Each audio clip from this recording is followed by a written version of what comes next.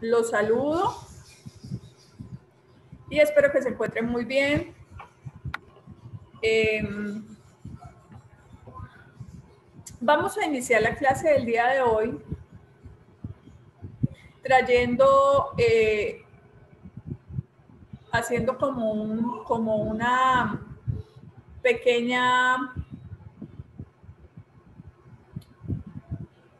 muestra. A ver, yo tengo aquí la clase del, del día 2 en la que yo les dejé a ustedes en la guía eh, taller y en la guía de aprendizaje les dejé unas actividades, ¿cierto? Y pues quiero iniciar eh, con, con esas preguntas que yo les dejé. Quiero iniciar con esas preguntas que yo les dejé. Les dejé en la guía taller unas preguntas Permítame que estoy abriendo la de la clase número 2.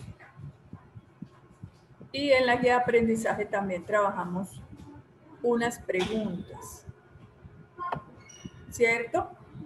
Y eh, la clase de esa actividad de la guía de la guía de aprendizaje de la clase número 2 no la alcanzamos a socializar en clase. ¿cierto? Yo recuerdo bien, ¿verdad? No la alcanzamos a socializar en clase. Y recuerdo que les dije que la íbamos a socializar en esta clase, ¿verdad? ¿Sí recuerdan, muchachos? Sí, profe. Ok. Ok. Vamos entonces a socializar, no todas, no todas. Porque, por ejemplo, eh, la pregunta número cuatro que dice, según lo visto en clase, explica que la comparación, la clasificación, la seriación, pues eso ya lo vimos en clase, ¿cierto? Eh, da un ejemplo de cada componente básico del número, eso ya lo vimos en clase, ¿sí? Pero lo que sí quisiera de pronto hablar un poco es acerca de qué de cómo explicaron ustedes el concepto de acción y complejidad del texto anterior, donde dice que la noción del número en el niño es un proceso activo, o sea, de acción y progresivo, o sea, de complejidad. Entonces, sí me gustaría eh, escucharlos para, para no sé, aclarar dudas o para que ustedes afiancen ese conocimiento, ¿sí? Yo esperando y creyendo que obviamente ustedes, porque pues estaba inmerso en toda la guía, ¿no? Estaba inmerso en toda la guía lo que es la acción y la complejidad o el proceso activo y progresivo de la noción de número del niño. Entonces, si ustedes entendieron, obviamente tuvieron que haber explicado este concepto con sus propias palabras pero pues vamos a, vamos a socializarlo en esta, en esta noche. ¿Listo? Tienen que comenzar. Les voy a presentar en pantalla qué es lo que estamos haciendo. Acuérdense, para los que Perdón, cerramos. Por favor, Anita. Bueno.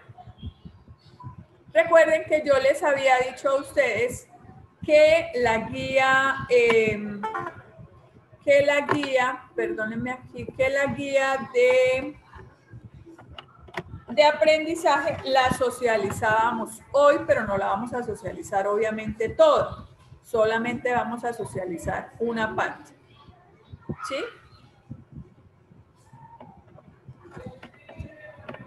Entonces, eh, la parte que vamos a socializar de la guía es la, eh, primera pregunta donde se explica el concepto de, de, acción y complejidad del texto anterior.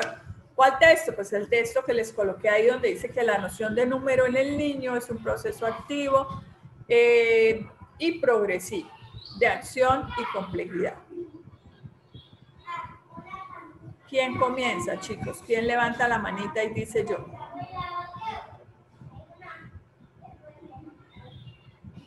¿Quién levanta la manita, muchachos? ¿En cuál pregunta, profe? La pregunta número uno, que es la única de ese taller que vamos a socializar porque me interesa conocer ustedes cómo explicaron ese proceso. La pregunta número uno del taller de aprendizaje. Acuérdense, vuelvo y les repito que el taller de aprendizaje no lo alcanzamos a socializar en clase. ¿Sí?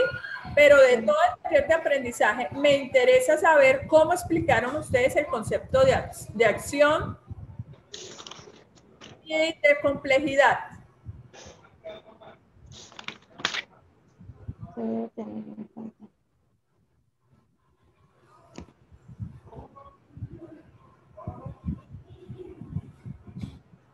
comienza, chicos? Pues voy a empezar yo, profe. Pues la primera pregunta no me tocó a mí, le tocó a la compañera Ana. Pero entonces yo creo que la puedo leer lo que ella, lo que ella explicó, ¿sí, profe? Ajá, sí, eso fue en grupo. Eh, después, después de Natalia, le doy la palabra a Leida y después le doy la palabra a Edith, que tienen allí la manita levantada, ¿vale? Entonces queda primero Natalia, luego Leida, luego Edith. Escucho, Natalia. Bueno, eh, explica el concepto de acción y complejidad del texto anterior. La noción de número se va desarrollando en el niño a partir de la capacidad de agrupar objetos, de, ordenar objetos, es decir, a partir de la clasificación y la seriación. Para llegar a este proceso, el niño inicia estableciendo pequeñas comparaciones de objetos los cuales van colocando uno frente al otro, frente al otro, al haber identificado uno o más, una o más características iguales o semejantes, es decir, logra la correspondencia que puede ser objeto. Objeto igual a otro. Correspondencia puede ser objeto. Objeto Natalia. con encaje. Sí, señora. Con encaje. Dame un segundo, Natalia. ¿Tú estás en la primera pregunta? Sí, profe. Donde dice explica el concepto de acción y complejidad. Sí, señora.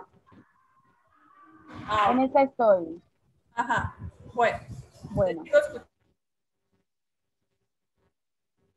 objetos, eh, objeto signo, un objeto y la escritura de su nombre. Corresponden el nombre del objeto y una representación simbólica del mismo. La noción del número en el niño es un proceso activo y progresivo. Activo porque se logra a partir de acción que el niño logra sobre los objetos de su entorno de su comunidad y progresivo porque cada acción se hace cada vez más compleja. Para ella, la maestra debe iniciar facilitando a los niños variedad, variedad de objetos y acciones mediante el juego. Hasta ahí nomás. Ah, ok, ok, ok. Bueno. Bueno, fuiste llegando al punto. Listo, muy bien. Eh, ahora escucho a, a Leida luego Aleida, luego Edith y luego Walter. ¿Listo? Sí, profe. La noción del número en el niño es un proceso activo, acción y progresivo complejidad. Explica el concepto de acción y complejidad del texto anterior. Acción es el contacto que el niño realiza con objetos para así asimilar características físicas, lo que le permitirá luego identificarlas entre un objeto y otro. Así inicia estableciendo pequeñas comparaciones de objetos, asimilando características que le permite identificar dicho objeto. Y la complejidad es el nivel de desarrollo que, de sus capacidades que los niños y las niñas van adquiriendo al realizar las acciones. Muy bien. Listo, profesor. Bueno, sí, sí, sí van llegando al punto de lo que es la acción y la complejidad. Te escucho, Edith. Bueno, profe, eh, nosotros colocamos activo. Es el proceso que construye el niño de forma inconsciente a partir de las experiencias que le brinda la interacción con los objetos físicos, su entorno y situaciones de su diario vivir. Y el progresivo es cuando los niños inician a crear mentalmente relaciones, comparaciones, estableciendo semejanzas y diferencias de sus características para poder clasificarlos, seriarlos y compararlos. Muy bien, excelente. Sí, muy bien, esa es la respuesta. Muy bien todos. Te escucho, Walter. Em, bueno, el término acción no activo es porque permite manipular todo el medio que lo rodea para ir adquiriendo las nociones necesarias y básicas para desenvolverse. Y progresivo es porque se va subiendo el nivel de acuerdo con las capacidades que el niño o niña va adquiriendo para adquirir nuevos conocimientos. Muy bien, excelente. Sí, eh, en términos generales tiene que ver con, con la palabra acción tiene que ver con lo que ustedes han dicho. Obviamente eh, el mundo que rodea al niño, y eso lo vimos, está inmerso en la, en la guía, em, está lleno de números, ¿cierto? Entonces es un bombardeo de números todo el tiempo eh, de, las experiencias que el, que el niño tiene eh, o los acercamientos que el niño tiene eh, al número, consciente o inconscientemente, a ese, a ese proceso, pues le damos, le damos la connotación de, de proceso activo, de proceso de acción. ¿sí? Porque consciente o inconscientemente estamos, no solamente el niño, sino que todos los seres humanos estamos bombardeados de números, ¿ciertos? Eh, bueno, y el proceso progresivo o, o, complejo, pues tiene que ver con ese nivel que poco a poco se va a ir subiendo con respecto o con relación a cada uno de esos aprendizajes acerca del número. Todos los aprendizajes que él puede tener acerca del número, que el ser humano tiene acerca del número y que va subiendo ese nivel. Entonces, muy bien. Permítame aquí que me dice Gloria que un la sacó.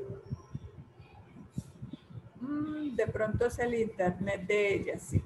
Sin embargo, les voy a renovar en el grupo. Les voy a renovar el... Bueno, les voy a dejar de compartir aquí la, la guía, esa, esa, esa pregunta quería que la socializáramos para mirar qué tanto ustedes habían comprendido ese, esos conceptos de acción y complejidad. Bueno, ahí ya le envía Gloria a él. Listo, muchachos. Ahora, Vamos, les voy a mostrar en pantalla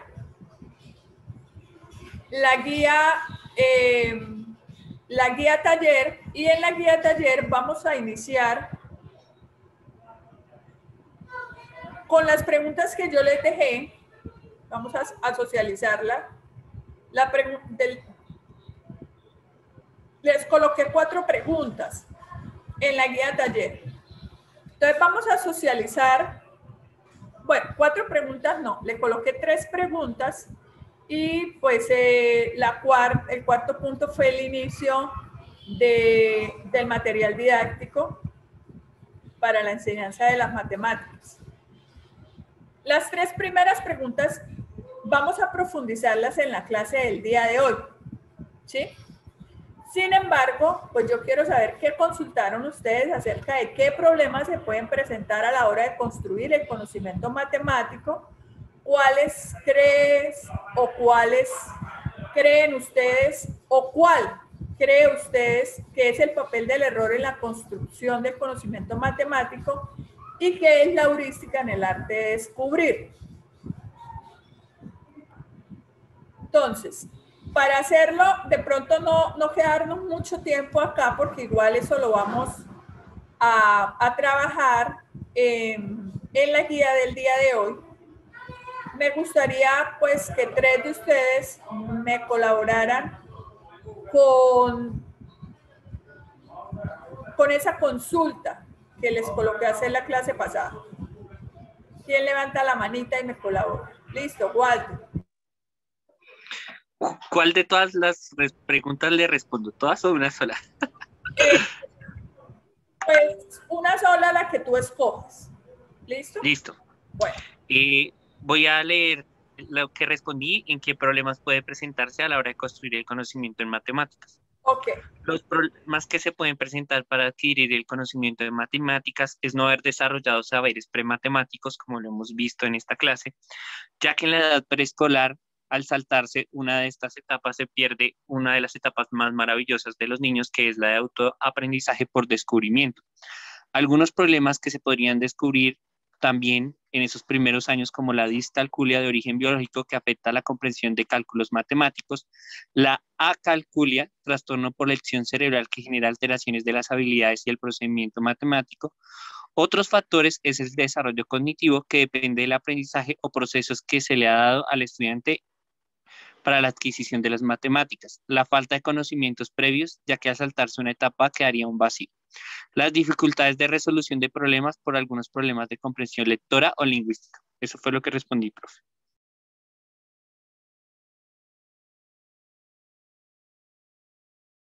Muy bien, Walter. Excelente. Yo hablándole con el micrófono, con el micrófono cerrado.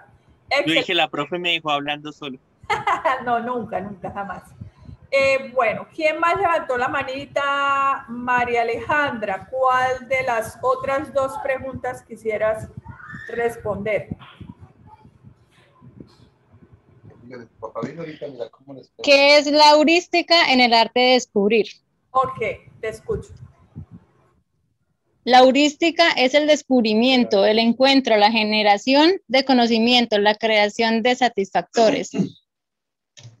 La heurística em, es vista como el arte de inventar con la intención de provocar estrategias, métodos, criterios que permitan resolver problemas a través de la creatividad, pensamiento divergente o lateral.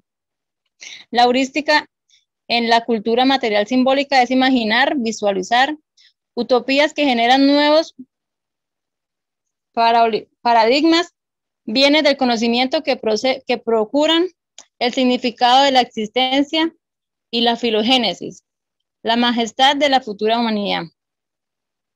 Existen conocimientos, destrezas, actitudes y voluntades a cultivar que proporcionan los estados de sensibilidad y conciencia que estructuren las dimensiones de la heurística para que las nuevas utopías tengan condiciones de posibilidad. La heurística refiere a estrategias, métodos, criterios o astucias utilizados para hacer posible la solución de problemas complejos y urgentes. Eso fue lo que yo respondí, profe. Muy bien. Y pues eh, ahora en el desarrollo de la guía vamos a comprender un poquito mejor qué es eso de la heurística, ¿sí? Eh, ¿Cuál, eh, qué es el método heurístico en la, en, la, en la enseñanza, en la educación? ¿Qué tiene que ver el error, ¿sí? En el método heurístico. Y, y parte, o sea, vamos a profundizar en esas tres preguntas partiendo de los presaberes que ustedes ya tienen. ¿Por qué los envié a que consultaran? Porque quería que ustedes llegaran a la clase del día de hoy porque estos temas son temas un poco complejos, ¿cierto? Por ejemplo, el papel del error en la construcción del conocimiento es un tema complejo. Vamos a tocar lo que son los problemas a la hora de construir conocimiento matemático, que ya su compañero Walter ha hablado o nos dio un preámbulo acerca de eso, de lo que es la calculia, la discalculia. Y vamos a hablar de la heurística en el proceso o como modelo, el modelo heurístico en el proceso educativo. ¿Quién me colabora con la tercera, con la segunda pregunta?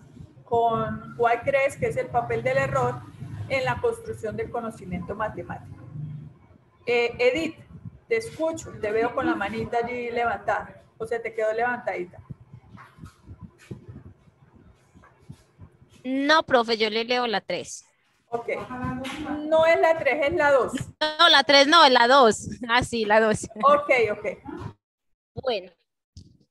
Uno de los bloques en los que el niño tiene más dificultad en el aprendizaje de las matemáticas se encuentra en el conocimiento del número y las cuatro operaciones básicas. Se tiende a comenzar por actividades de conteo y ordenación sin tener en cuenta que no podemos contar y ordenar aquello que no conocemos. Construyamos los números para poder conocerlos. Se tiende a separar la construcción del número de las operaciones cuando la propia construcción lleva implícita la operatoria. Estos son los errores principales en las enseñanzas de las matemáticas. Primero, pensar por, el niño. Segundo, el problema de los símbolos. Tercero, no respetar las frases de aprendizaje. Cuarto, no creer en las posibilidades del niño. Profe, ya me dirá si te defino cada uno. No, así como por encimita, porque igual vamos a profundizar en esas tres preguntas. Listo, profe, entonces es solo eso. Eh, tratar de primero enseñar al niño, tratar de enseñar al niño sin símbolos, sino primero la prematemática y después enseñarle el, el símbolo como tal. Ok, muy bien. Bueno, chicos, aquí les tengo, les presento la guía del día de hoy, que va desde el 8 de mayo hasta el 15 de mayo. ¿Sí? ¿Por qué el 8 de mayo? Porque se supone que esa clase la debimos haber tenido pues el sábado, ¿cierto? Entonces, hay, eh, las fechas quedan igual independientemente de que la clase sea el día de hoy. Eh, están los objetivos generales, objetivos específicos, y estos son los temas que vamos a ver. Permítanme un segundo aquí.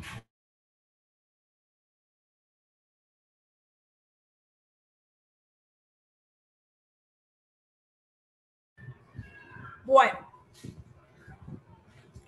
el papel del error en el aprendizaje. Eh, en el marco de, por ejemplo, de estas, de estas preguntas de por qué se debe penalizar el error en el aprendizaje, o perdón, por qué no se debe penalizar el error en el aprendizaje y aprender es indagar. La heurística, habilidades matemáticas básicas y dificultades para el aprendizaje de las matemáticas, acalculia y discalculia. Pero me encanta porque ustedes ya vienen con unos presaberes, ¿cierto? Eh, vamos a mirar, les voy a colocar este link que es, vamos a ponerlo por acá, permítame un segundo y abro eh, YouTube.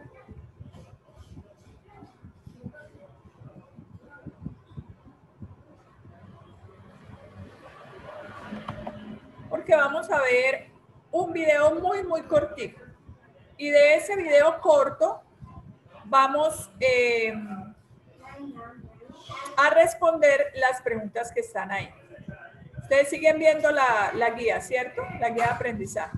Sí, señora. Bueno, hay unas preguntas interpretativas acerca del video sobre de qué trata el video, cuál es el tema principal del video, qué opinión te merece la actitud del adulto en el video, qué papel juega la indagación en el video y qué reflexión te deja el video como educador. Entonces les voy a colocar el video. Permítame acá. Voy a colocarles el video. También lo busco.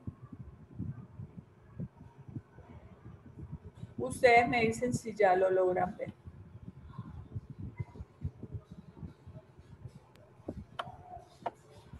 No se los he colocado todavía. Permítanme un segundo. Ahora sí, me dice si ya logra ver ahí en YouTube. Sí, señora.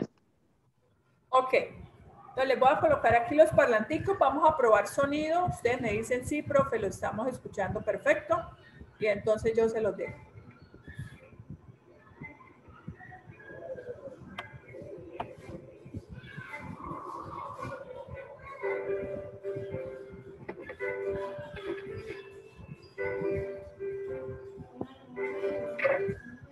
¿Están escuchando bien o le coloco más volumen? ¿Se escucha bajito, profe? Ok, ahora le voy a colocar más volumen. Ustedes me dicen. ¿Ahí está bien? Ahora sí. Ok, entonces lo voy a ampliar y lo volvemos a ver. Por favor, muy, muy pendientes, porfa. datos? Thank you.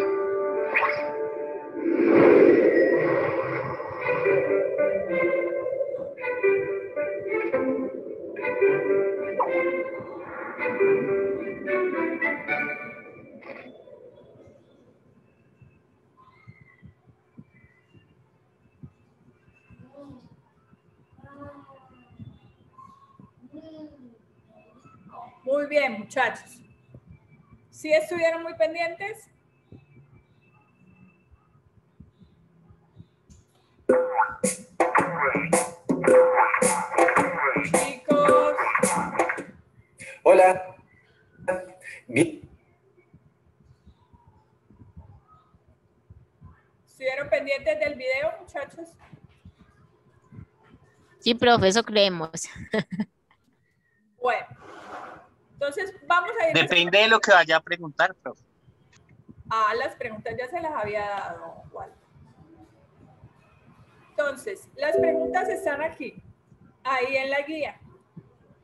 Vamos a responder a esas preguntas interpretativas sobre qué, de qué trata el video. ¿Cuál es el tema principal del video? ¿Qué opinión te merece la actitud del adulto en el video? ¿Qué papel juega la indagación en el video, ese proceso de indagación? ¿Y qué reflexión te deja el video como educador? ¿Quién comienza?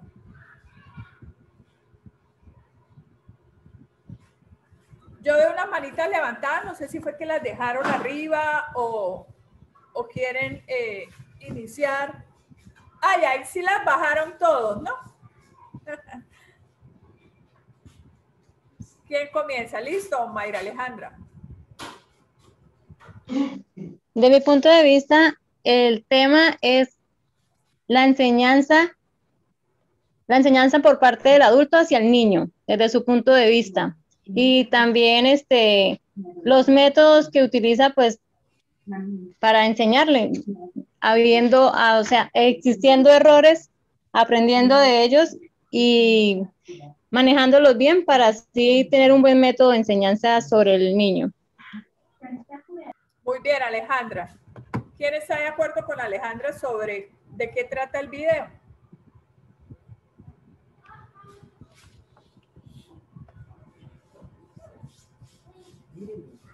¿Quién más, chicos?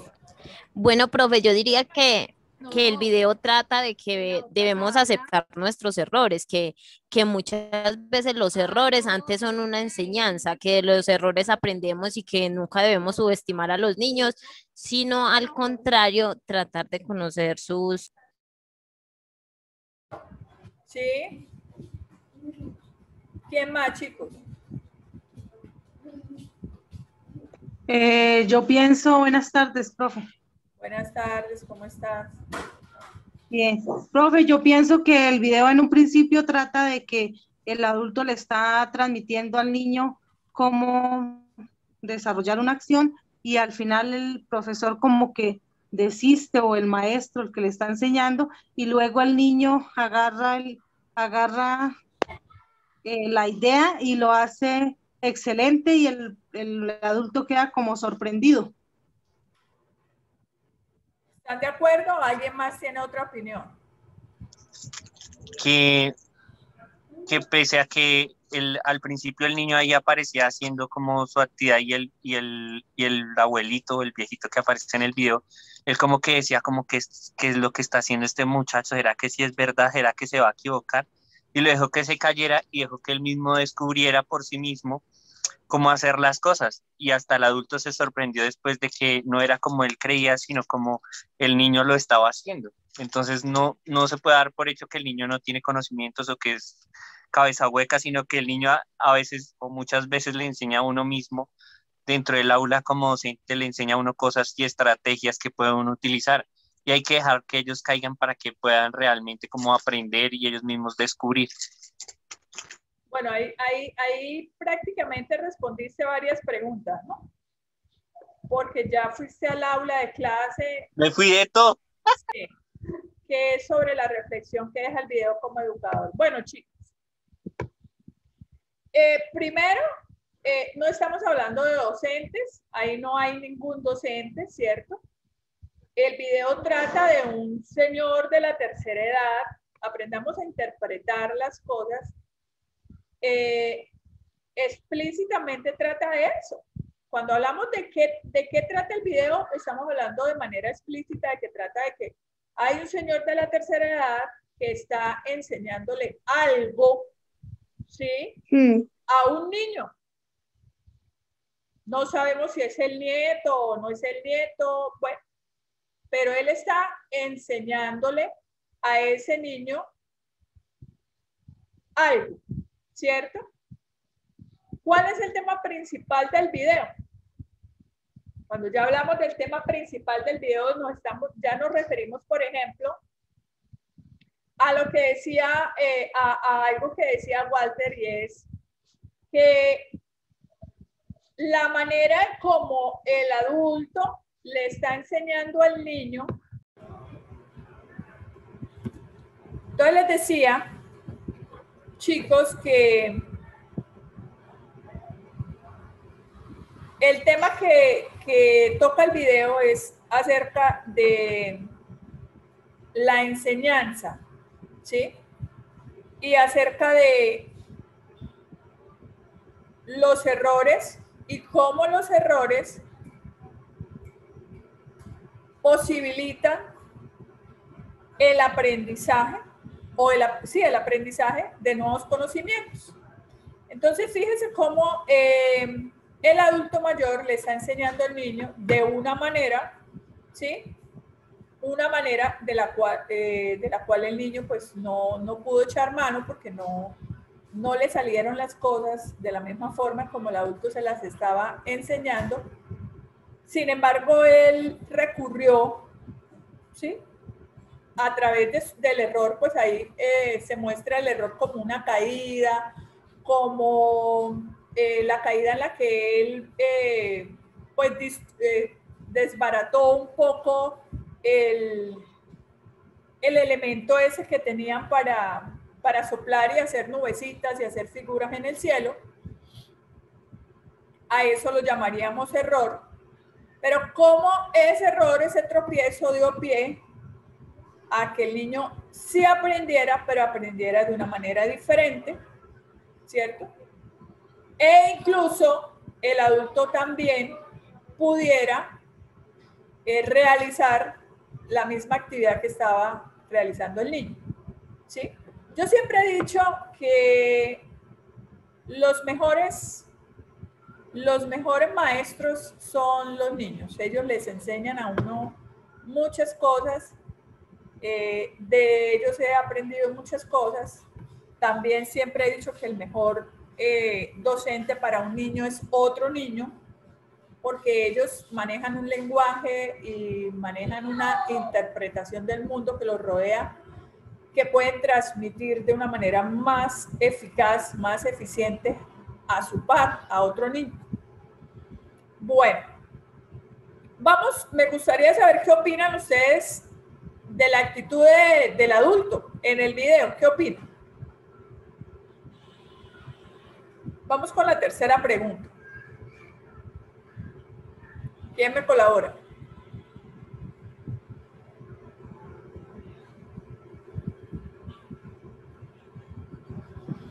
¿Quién me colabora, muchachos? Yo creo, profe, que al principio el, el, señor sentiría como frustración, como mal genio que dañara el elemento que estaba utilizando para hacer cositas en el cielo, dijo la profe. Sí. Eh, ¿Podría presentarse una actitud así en, la, en el aula de clase? ¿Podría el maestro estar enseñándole algo al niño y el niño no hacerlo de la misma forma como el maestro le indicó y sentir el maestro al principio esa frustración? Digo al principio porque después esa frustración en el adulto se fue convirtiendo en una posibilidad o en una herramienta para enseñarle al niño de la manera en la que el niño pueda, pudo aprender, ¿sí? Hacer figuras en el cielo. Pero se podría presentar esas situaciones en el aula de clase. ¿Ustedes qué opinan, chicos? Yo digo que sí. Profe, yo digo que sí. Sí. Sí, profe, claro que sí muchas veces uno llega a tener una actitud de dice, hoy por Dios, porque yo estoy enseñando de esta manera y el niño lo está haciendo de otra. Eso se da constantemente. Sí. Bueno, eh, ¿qué papel juega la indagación en el video? Ese proceso de indagación.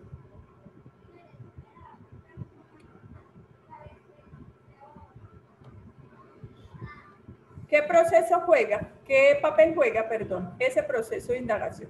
Voy a leer aquí en el chat, no sé quién me ha escrito.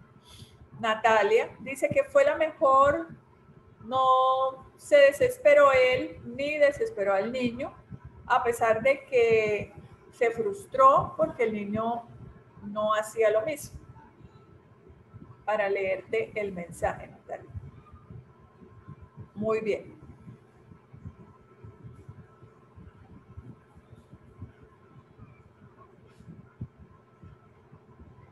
Estoy esperando, chicos. ¿Qué papel juega la indagación en el, en el video? Que, que se vuelve en un medio o un facilitador para que el niño adquiera un aprendizaje nuevo. Sí, excelente, muy bien. Y es que si ustedes, y es que si, si, si nos salimos un poco de esta situación y vamos a situaciones prácticas de la vida diaria del niño, por ejemplo, cuando el niño está armando, eh, está jugando con los legos, está armando algo, o cuando está encajando algunos elementos. Eh, fíjese que, que, muchas de esas, de esas actividades en un principio el niño no las logra hacer, ¿sí? Obviamente dependiendo de su edad cronológica. Pero luego eh, que él se da cuenta que está cometiendo el error y que está encajando las partes en un lugar donde no corresponden, comienza un proceso de indagación en el que él comienza a mirar en cuál de las partes se puede encajar, en cuál de todas esas partes. Entonces la indagación, como dice Walter, es un facilitador del aprendizaje es una herramienta también, indagar, preguntar, ¿sí? Fíjense que cuando yo les hago una pregunta a los niños y ellos me responden y pues es evidente que su respuesta no es acorde a la pregunta que yo les hice, lo que generalmente yo les vuelvo a preguntar es por qué ellos creen que es de esa manera como ellos lo están diciendo. Nosotros vamos a mirar más adelante por qué es importante entender la respuesta del niño, entender la respuesta del niño dentro de dentro de la, de la, de la forma en como él ha entendido nuestra pregunta.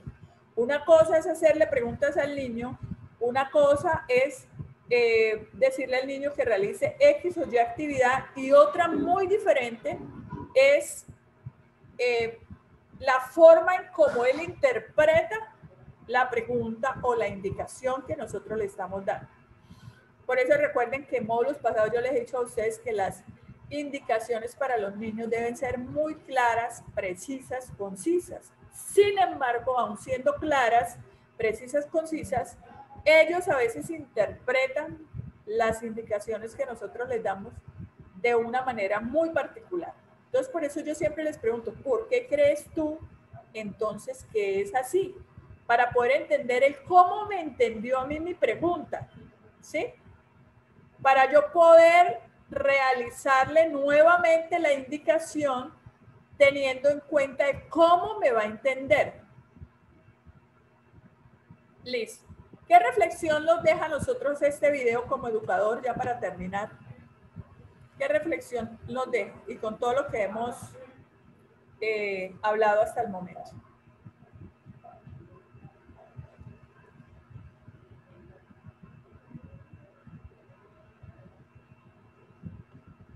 ¿Quién me comparte, chicos, qué reflexión les deja el Profe, pues creo, creo que ya lo había dicho, respondiendo al principio, pero, pero pues básicamente, ¿qué es lo que le deja a uno como educador? Que uno debe estar abierto, ¿no? Primero, pues que uno tiene que tener, y como lo decías, dar las indicaciones claras, ¿no? Para que el niño lo comprenda, pero también entender que cada niño es un mundo y un universo diferente y que él tiene ciertas maneras de aprender y que él mismo puede lograr eh, generar sus propios conocimientos e irlos afianzando a medida que va creciendo en el proceso. De ahí que sea tan importante esas primeras bases que, que, se le den al niño. Muy bien, excelente. Bueno, chicos, vamos a tocar ese, este tema de la importancia del error como herramienta de aprendizaje, ¿sí? En este módulo de pensamiento matemático, no sin antes aclararles que cuando hablamos, bueno, vamos a irlo tocando a, medida que vamos mirando eh, el tema en la que vamos a ir entendiendo el trasfondo de, este, de, esta importancia del error como herramienta de aprendizaje. Pero para, para aclarar un poco, las matemáticas son exactas cuando hablamos de los números, ¿cierto? Cuando hablamos de la suma, las restas, las multiplicaciones, los problemas eh, matemáticos. Las matemáticas son exactas y obviamente pues no cabe ahí el error. Son ciencias exactas. Y cuando estamos hablando del error como herramienta de aprendizaje, no estamos hablando de dejar al niño en el error en un proceso matemático, ¿sí?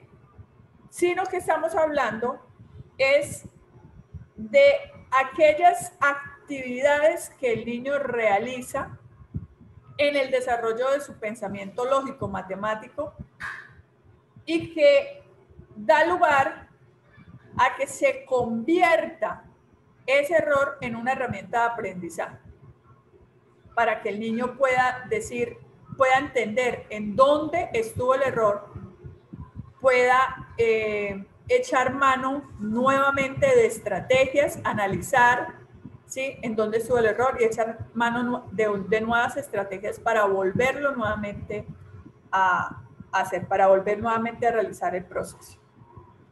Entonces, fíjense que igual ahí tenemos incluso en la imagen una, una, una niña realizando, realizando ahí una actividad, ¿cierto? Está encajando unos elementos Eso es un proceso prematemático, ¿verdad? Entonces no estamos hablando del número como tal, No estamos hablando de las sumas, de las restas y de dejar a los niños en el error cuando sumen y resten y no les, el resultado no sea el, que, el, correcto. No estamos hablando de eso. O sea, para aclarar un poco. Entonces, el error es más antiguo que, las mismas, que la misma enseñanza. Este se ha considerado a través del tiempo como algo negativo, que denota ineptitud, de modo que equivocarse está mal visto para, para todos. Sin embargo, para los educadores, sobre todo de la primera infancia, el error es una herramienta fundamental, ya que a partir de él los niños aprenden de sus propias acciones en situaciones que para nuestros planes muchas veces son imprevisibles. De hecho, cuando ustedes estén en su ejercicio docente se van a dar cuenta que una cosa es usted llevar un, eh, pensar y llevar un ejercicio a, a clase y otra muy diferente es cómo se dé ese ejercicio en clase, porque los niños son a veces muy, eh, o sea, muy imprevisibles, ¿no? Sí. En donde los adultos vemos un error, los niños ven un desafío, una oportunidad eh, de absorber todo lo que, lo que le propone la situación. Por ello, debemos ser comprensivos con sus procesos, con sus posibilidades. Cuando estamos en la sala de actividades, bueno, cuando hablamos de sala de actividades podemos estar hablando de actividades en la casa, de actividades en el colegio, ¿sí?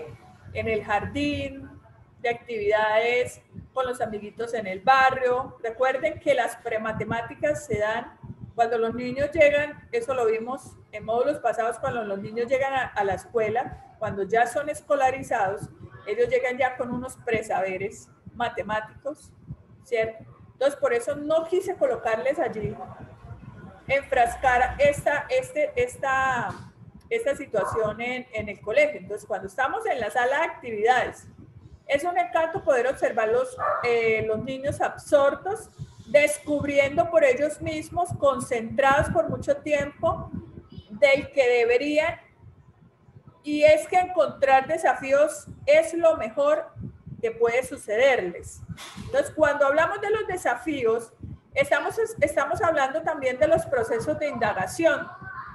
Cada desafío, cada desafío en el niño lleva implícito procesos de indagación. La posibilidad de aprender para ellos es infinita, infinitamente motivadora y les genera el compromiso de lograr lo que aparentemente se propone. Para que se genere un cambio sobre la visión del error, hay que reconocer a este al error como agente ayudador del proceso de enseñanza-aprendizaje. Aunque sea difícil de admitir, los errores son y serán necesarios. ¿Sí? Nunciati señala, si no hubiera errores que superar, no habría posibilidades de aprender. Con esta frase del autor queda manifestado eh, manifestada la necesidad por atender el error en cuanto éste aparezca y no simplemente reaccionar de forma intencionada, ocultando y repudiando el error por parte de los mismos estudiantes o de los docentes. El proceso de aprendizaje está ligado a la capacidad de autorregular. ¿sí? Esa palabra es sumamente importante en este proceso, la autorregulación lo que se aprende, de autorregular lo que se aprende, perdón, quedando manifiesto esto en los primeros años de la etapa escolar, en donde los estudiantes necesitan reiteradamente, se les está indicando cómo están haciendo, cómo lo están haciendo, y que el profesor les indique dónde están sus errores para sentir una cierta seguridad en sus avances académicos. Bueno, ahora bien, para lograr un buen aprendizaje en toda la etapa escolar, se hace necesario que sea el propio estudiante quien aprenda a identificar sus propios errores para su regulación, abordando el error en el momento en que este suceda y no esperar a posterior. ¿Sí? A esto San Martín hace referencia señalando, los estudiantes que aprenden son fundamentalmente aquellos que saben detectar y regular ellos mismos sus dificultades y pedir y encontrar las ayudas significativas para superarlos. ¿Sí? Eso quiere decir que los errores en los niños se deben convertir en qué? ¿En qué se convierten los errores en los niños? En oportunidades. En oportunidades. Excelente, esa es la palabra. En oportunidades, según lo que acabamos de leer. Y es que el error es la llave del aprendizaje. Es y ha sido siempre así. No hay más que mirar cómo los niños realizan este proceso. Entonces, ¿qué hacen ellos? Prueban, ¿cierto? Se equivocan, analizan y realizan una nueva estrategia. Bueno, no solamente ellos, todo el ser humano, ¿verdad? Prueba y error, prueba y error, análisis, dónde estuvo la equivocación, dónde me equivoqué, ¿cierto? Y realizo una nueva estrategia. ¿Qué dijo eh, Thomas Edison? ¿Quién se acuerda del creador de las bombillas? ¿Quién, quién conoce esa historia? ¿Quién la conoce, chicos? Búsquenla entonces en internet. El creador de las bombillas. ¿Qué dijo él? Tomás Alba Edison. Ajá, ¿qué dijo Thomas Edison? ¿Quién fue Thomas Edison? Mejor dicho. Amor, no. ¿Quién fue, chicos? Fue un inventor, científico, empresario estadounidense, desarrolló muchos dispositivos que han tenido gran influencia en todo el mundo, como el fonógrafo, la cámara de cine, una duradera bombilla incandescente. Pero él para elaborar esa bombilla cometió un montón de errores y muchísimas veces y él podría haber desistido en ese intento de lograrlo, pero él perseveró hasta que logró formar una bombilla que de verdad le funcionara. ¿Cuántas veces, cuántas veces lo intentó Walter?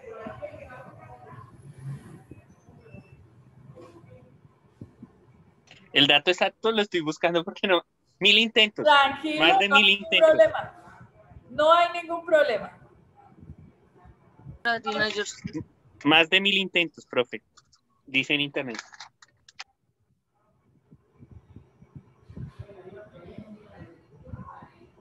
¿Cuántas veces intentó Thomas Edison? Bueno, entonces como dice Walter, como Walter miró, permítame aquí un segundito.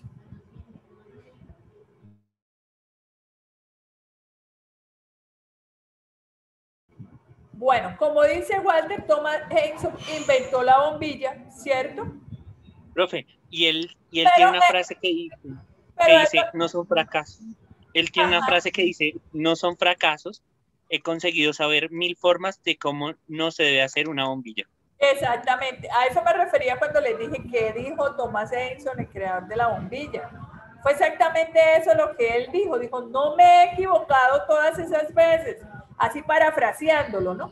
Esas veces no han sido errores, no han sido equivocaciones, han sido una cantidad de veces en que he aprendido la forma de no hacerlo, ¿cierto? ¿Cómo no lo debo hacer?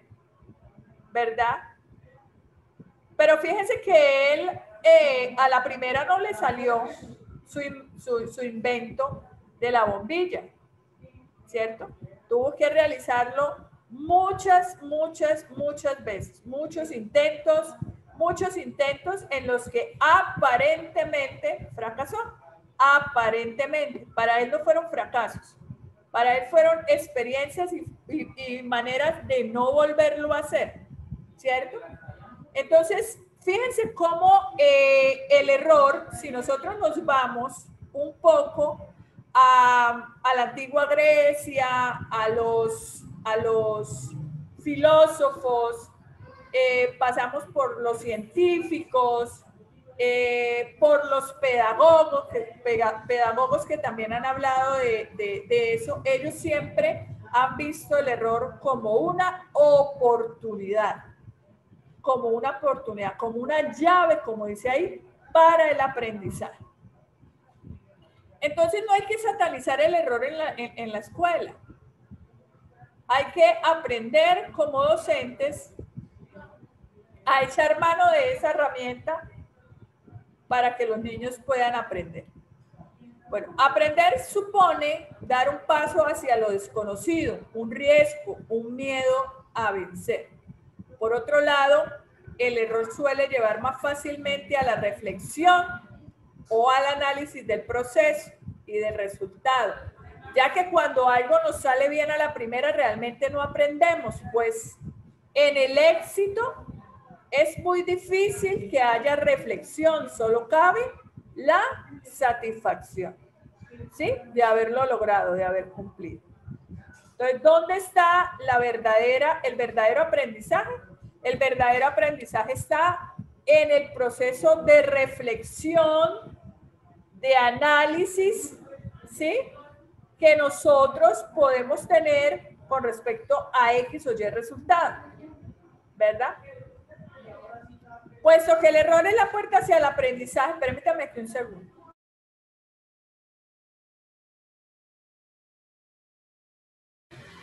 Puesto que el error es la puerta hacia el aprendizaje, debemos aceptarlo como algo normal y para, eh, para esto es y para esto es básica, súper importante la confianza.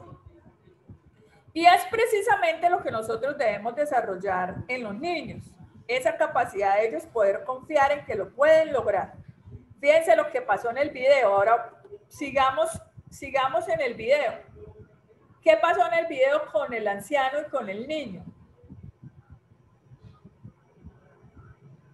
A pesar de que el anciano al principio se perturbó un poco con la situación, con el hecho de que el niño pues hubiese echado a perder la forma eh, redonda del elemento con el que estaban haciendo figuras en el cielo. A pesar de eso, ¿qué le dio el anciano al niño?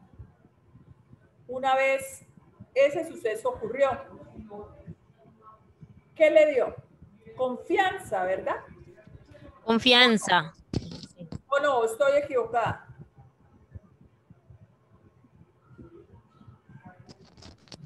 Y profe le dio confianza. Ok. Bueno, el gran desafío de la didáctica de las matemáticas hoy es el tratamiento metodológico de los errores como materia prima del aprendizaje y desarrollo cognitivo de los niños. Esa es una gran, gran, es un gran, gran desafío para la didáctica de las matemáticas. ¿Qué metodología? ¿Qué metodología voy yo a utilizar? ¿Qué tratamiento metodológico le voy yo como educador a dar a los errores que cometen los niños en el proceso de aprendizaje o de desarrollo del pensamiento matemático? Por lo tanto, se requiere una postura profesional del docente ante los errores de sus estudiantes.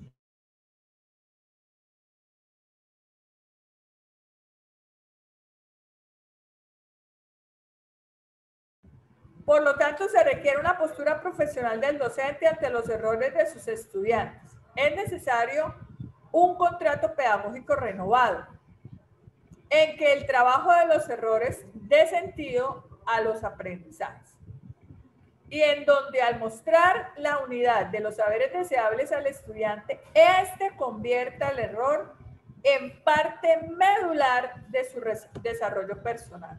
O sea, no es únicamente para aprender matemáticas, para aprender lenguaje, para aprender inglés, para aprender ciencias naturales, ciencias sociales, no. no es solamente es para eso. Es una capacidad que todo ser humano debe desarrollar para, perdón la cacofonías, para, que se, para desarrollarse o desarrollar el, eh, desarrollarse como persona en todos los ámbitos en los que nosotros nos movemos. Así queda un gran desafío para la academia escolar en cuanto a metodologías y didácticas se refiere para utilizar el error que cometen los estudiantes como materia prima para el desarrollo del aprendizaje. Pero esto requiere que el docente reflexione respecto a las prácticas y métodos que se utilizan en el aula, pues eh, de alguna manera inciden en el tipo de errores que cometen los estudiantes por ello se debe dar sentido al aprendizaje, marcando la diferencia entre lo que se aprende de manera significativa y entre una decepción escolar. aquí tiene que ver mucho también el, aprendizaje significativo, ¿no? Fíjense que cuando nosotros empecemos a ver la heurística, la heurística, más que todo, aunque, aunque se menciona... En, la antigua Grecia los filósofos mencionan, hacen mención de la heurística en sus libros también. La heurística se da en la, en la escuela nueva, con el aprendizaje por descubrimiento y, por el, y el aprendizaje significativo. ¿Sí? Por la información que nos han dejado eh, los autores que nosotros hemos leído. Vamos a mirar esas preguntas interpretativas. Dice, según el texto que acabamos de leer arriba, responda eh, la siguiente pregunta. Vamos a responder esta pregunta y también vamos a hacer esta otra eh, reflexión. Entonces, les voy a leer la pregunta primero y luego la reflexión. Dice, según el texto que acabamos de leer, responda la siguiente pregunta. ¿Cómo, eh, ¿Cómo podemos ayudar a nuestros estudiantes a aprender de sus propios errores? Esa es la primera pregunta para que la vayan allí, vayan organizando sus ideas. Y explica si estás o no de acuerdo con la siguiente postura. ¿Cuál postura? ¿Se puede hacer del error una nueva manera de acceder al conocimiento? Entonces quiero escucharlos a ver qué tanto hasta el momento hemos aprendido, hemos interpretado eh, la, la lectura de la guía hoy. empecemos con la primera. O si ustedes quieren, me pueden responder las dos de una vez. La primera es, según el texto que acabamos de leer, responda a la siguiente pregunta. ¿Cómo podemos ayudar a nuestros estudiantes a aprender de sus propios errores? Y la segunda es, ¿se puede hacer del error una nueva manera de acceder al conocimiento? ¿Estás o no estás de acuerdo y por qué? Sí, esa es la jornada. ¿Quién comienza?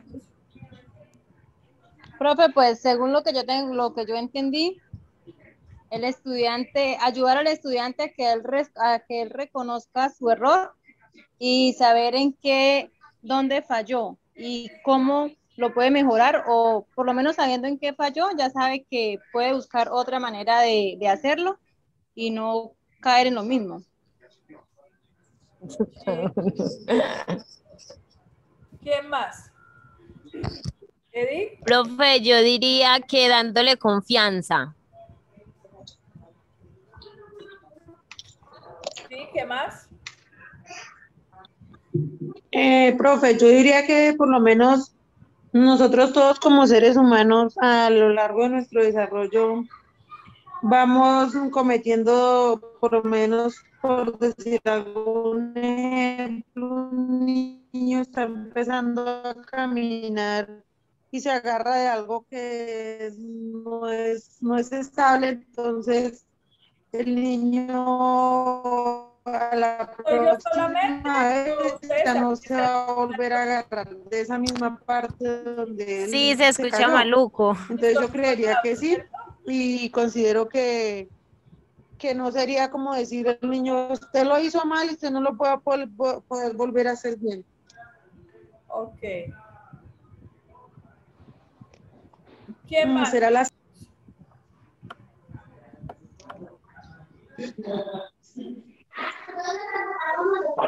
Eh, podemos ayudar a nuestros estudiantes resolviendo el problema que él halle con él en un acompañamiento para que él comprenda que el error se aprende. Sí, yo digo que primero y principal que nosotros debemos enseñarle a, lo- a los niños es que eh, el error forma parte del aprendizaje, que eh, el error no es, no es algo malo, ¿cierto? Lo primero que debe aprender el estudiante es a eso, a saber que nos podemos equivocar en cualquier momento, pero podemos eh, realizar un proceso que ya hemos hablado arriba, que es un proceso de reformulación de lo que estamos haciendo. O sea, ¿qué fue lo que hicimos mal? ¿Dónde estuvo el error? Analizar dónde estuvo el error y volver nuevamente con una nueva estrategia a, a empezar.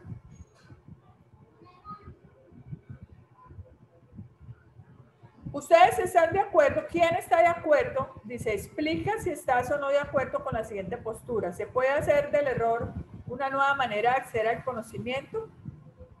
Sí, no y por qué. Porque también ustedes pueden estar no de acuerdo, ¿cierto?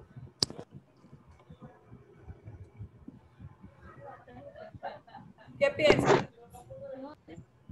Sí, porque generalmente en la matemática se cometen errores y a partir del error es que uno aprende y pues ya nunca se le olvida lo que, lo que tiene que saber. ¿Quién más? Gracias, Anita.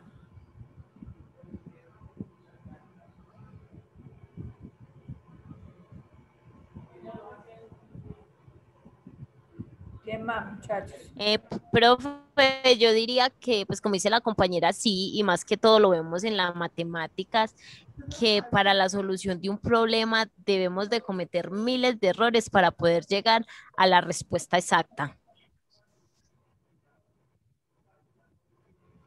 Sí, pero es que recuérdense que matemáticas no es solamente números, chicas.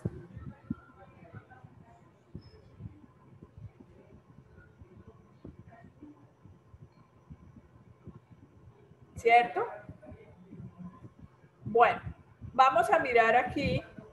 Para ayudar a los estudiantes a corregir sus propios errores debemos.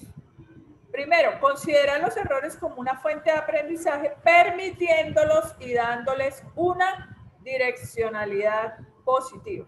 ¿Sí? Lo que algunos de ustedes dijeron. Cuando los estudiantes son conscientes de que la respuesta que están dando a X o Y problema no es correcta, pueden intentar resolver el problema a un nivel más profundo en comparación con alguien que simplemente ha memorizado la respuesta. ¿Cierto? Entonces, ¿qué entienden ustedes aquí? Hasta aquí, ¿qué, entienden? Vamos a hablar, por ejemplo, de preguntas. Preguntas. eh, una pregunta que se le haga a un estudiante en, el, en, en una evaluación, por ejemplo. ¿Sí? Vamos a, a- a poner ese ejemplo. Una pregunta que se le haga al estudiante en una evaluación, pero el estudiante la respuesta la tiene memorizada, la conoce, ya la, la tiene de memoria, la, la, la escribe o, la resalta dentro de la, de la hoja. A un estudiante que de pronto se equivoca en su respuesta, pero yo suelo hacer mucho, mucho esto en clase, ¿no?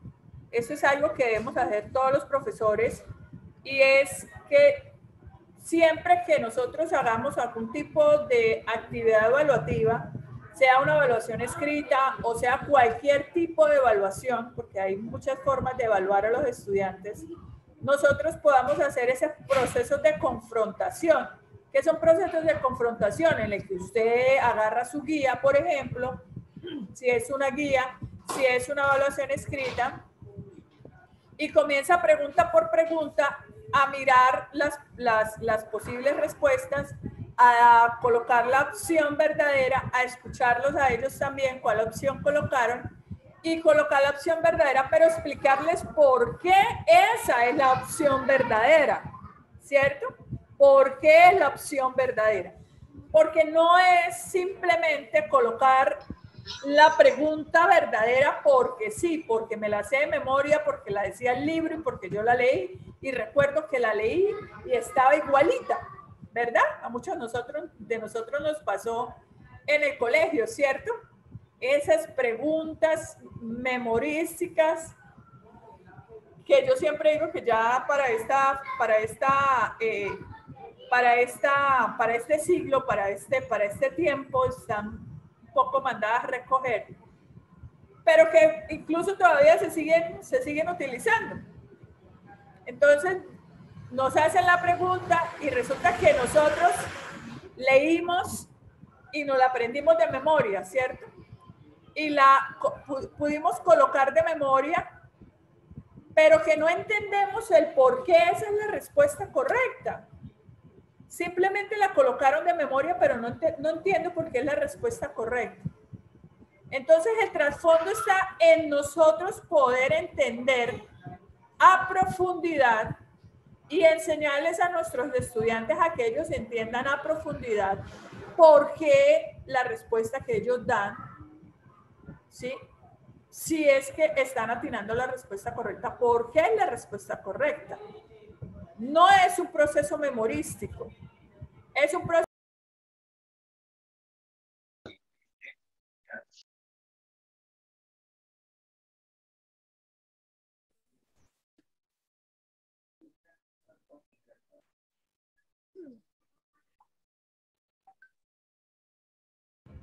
Bueno, muchachos, les vuelvo a colocar aquí otra vez la guía de aprendizaje. Les estaba hablando Permítame, le escribo a Natalia que sí, obviamente hay que entrar de nuevo. Permítame un segundo aquí en WhatsApp.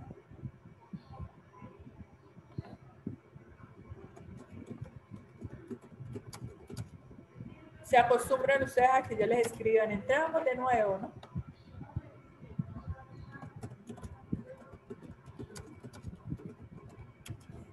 Bueno, chicos. Dios mío, señor, ¿qué voy a hacer sin el sin, sin luz? Por favor, eh, vamos entrando y cerramos. O sea, ¿verdad? Los audios, porfa, gracias. Bueno.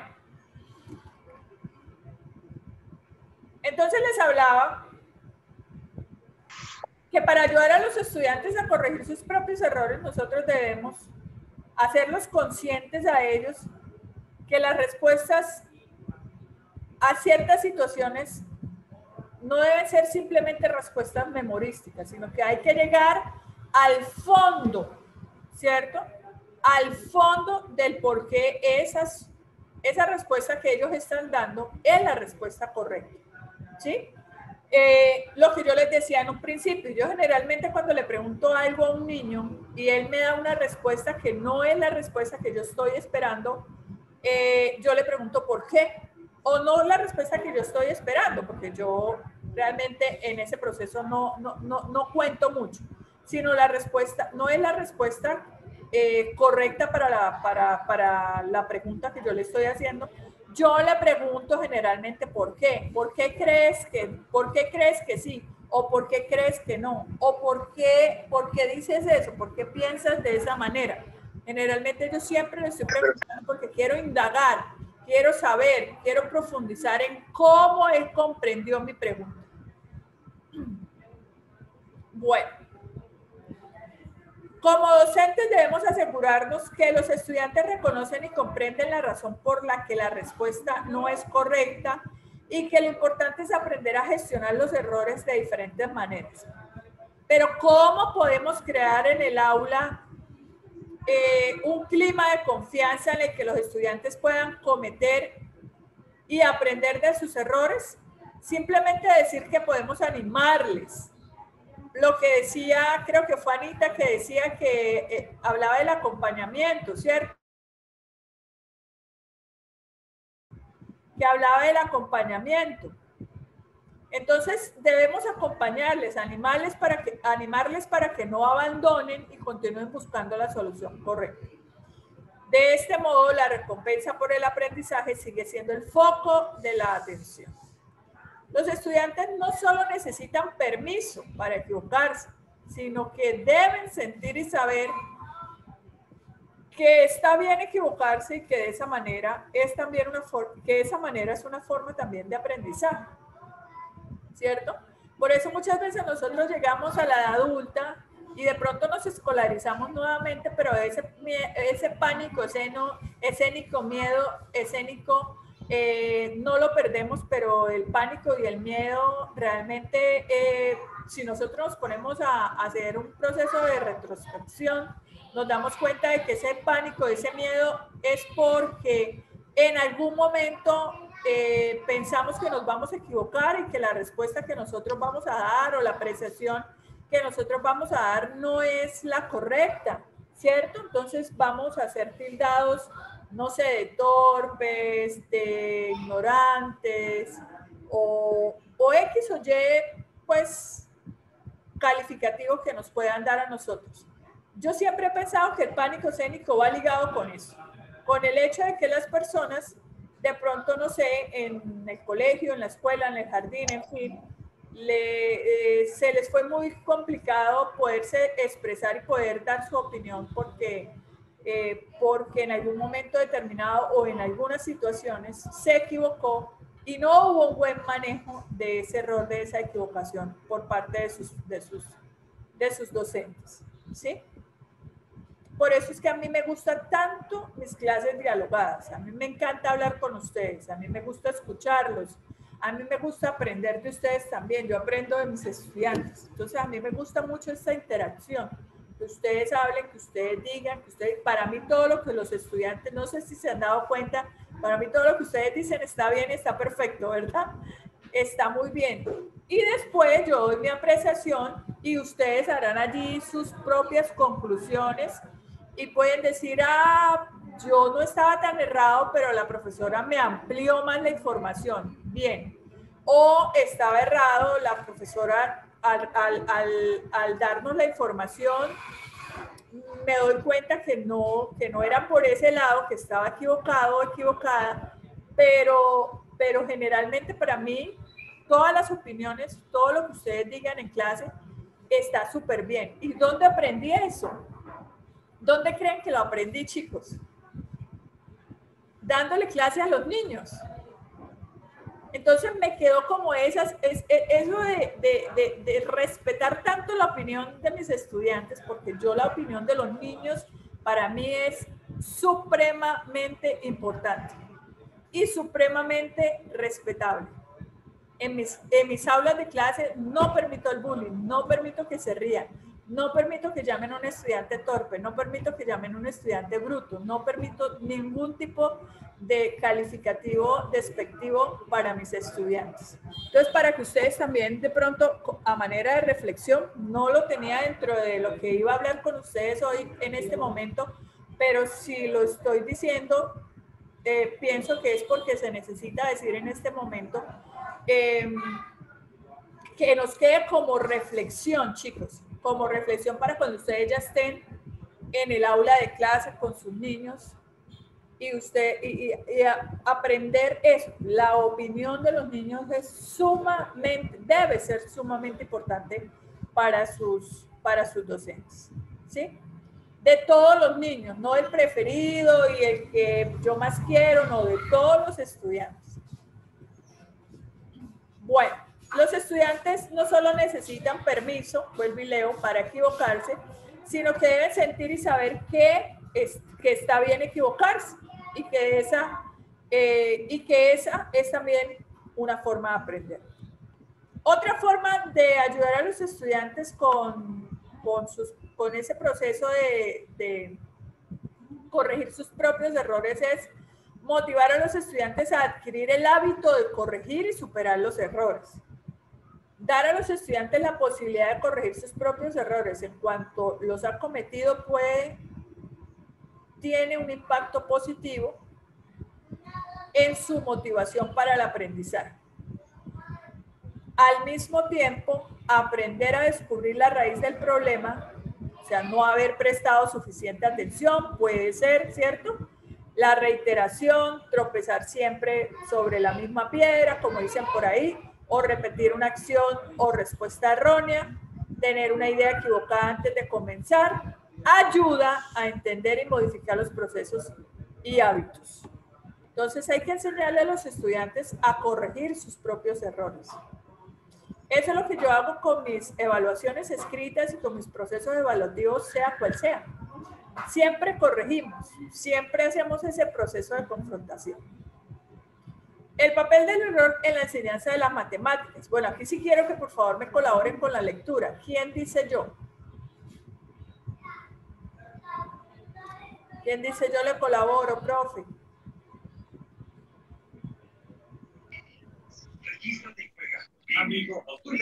Yo, profe. Ok, Edith, gracias.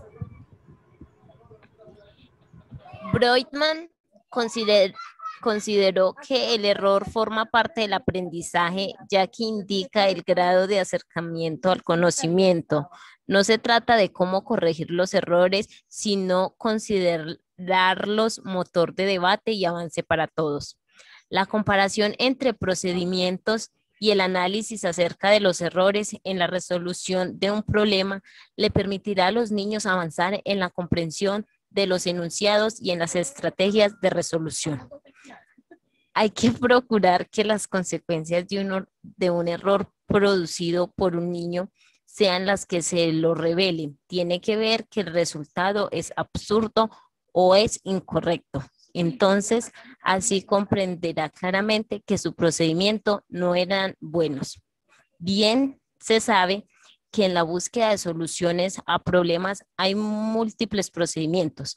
Podemos encontrar desde procedimientos de conteo con dibujo, marcas, dedos, hasta procedimientos de cálculo mental. Los intercambios, las protestas de los chicos, el recurso de la imitación de lo que hacen sus compañeros son factores de progreso para los chicos. El pensamiento de cada uno se construye en confrontación con los demás. De ahí la necesidad de favorecer el intercambio constante. No solo se trata de jugar, sino de reflexionar luego del juego, contar lo que pasó, comparar procedimientos. Es el momento para que cada uno cuente cómo se las arregló para enfrentar las situaciones planteadas para el docente. Browse distingue cuatro situaciones didácticas de acción, interacción entre los alumnos y el medio físico, de formulación, comunicación de informaciones entre los alumnos, de validación, convencer de la validez de las afirmaciones, de institucionalización, establecer convenciones sociales. Afirma que en la formulación se produce una comunicación de informaciones entre alumnos, ya que surge la necesidad de comunicar algo, es decir, estrategia de resolución. Muy bien. Fíjense que todos los ejercicios planteados en el aula educativa, nosotros debemos hacer procesos de reflexión. Fíjense que no solamente es para los procesos matemáticos que tengan que ver de pronto con el número como tal, o alguna otra actividad, ¿sí? No solamente es para las matemáticas, es para todas las áreas del saber, en que nosotros debemos hacer procesos de reflexión. Y como aquí nos colocan el ejemplo de los procesos de reflexión que nosotros debemos hacer de los juegos.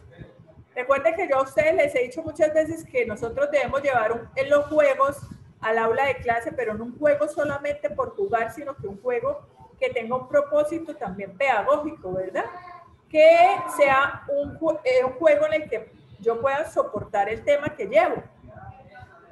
Y cómo nosotros debemos hacer en medio de todo este proceso de errores cometidos de pronto por los estudiantes y cómo ellos hacen para solucionarlos, debemos hacer ese proceso de reflexión en el que ellos cuenten, como, como leía Edith, cómo se las arreglaron para enfrentar esas situaciones planteadas. Fíjense cómo esta, con una actividad que usted le los, a los niños, sería una excelente, un excelente tema para, el, para la clase en cualquier momento. Realizar una actividad y luego comenzar con los chicos a que ellos le cuenten cómo la realizaron. ¿Cómo lo hicieron? Profe, yo lo hice de esta manera, yo lo hice de esta otra, ¿cierto? Profe, eh, a, mí, a mí me funcionó de esta manera, porque a no todos nos funciona de la misma manera hacer cierta clase de, de ejercicios, de actividades. ¿Cómo lo hicieron? Si hubo situaciones y obstáculos que se le presentaron en el camino, ¿cómo lo enfrentaron? ¿Cómo solucionaron? ¿Cierto?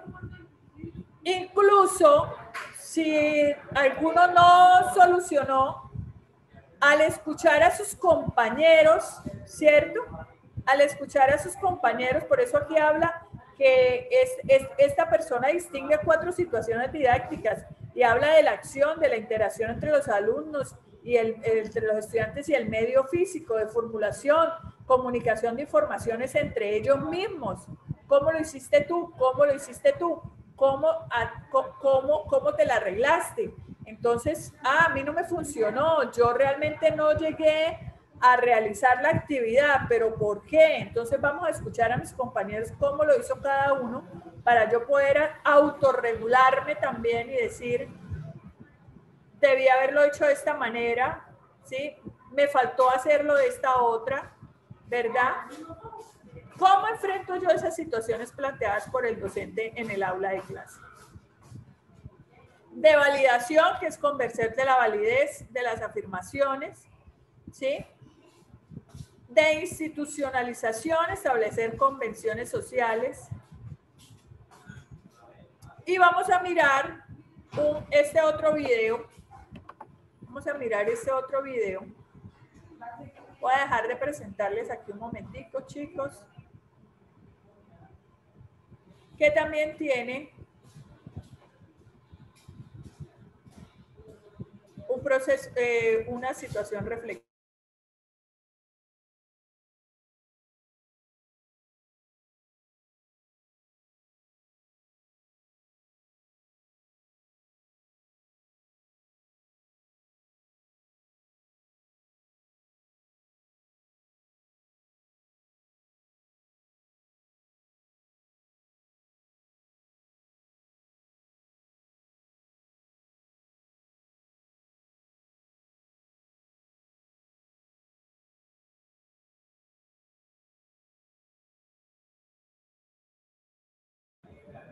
Bueno, chicos, ustedes me dicen si logran ver ya el video ahí. Son videitos corticos. ¿Sí lo logran ver? Sí, profe. Bueno, vamos a mirarlo. Les voy a ampliar aquí. Ya pues el sonido lo... Ya sabemos que funciona, entonces vamos a reproducir el video.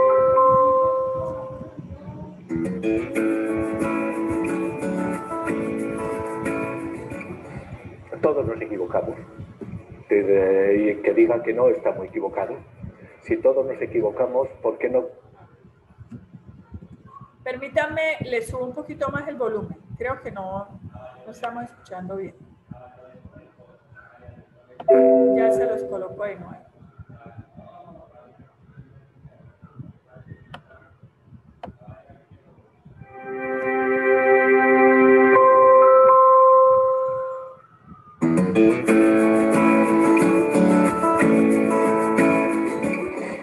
Todos nos equivocamos. Y que diga que no está muy equivocado.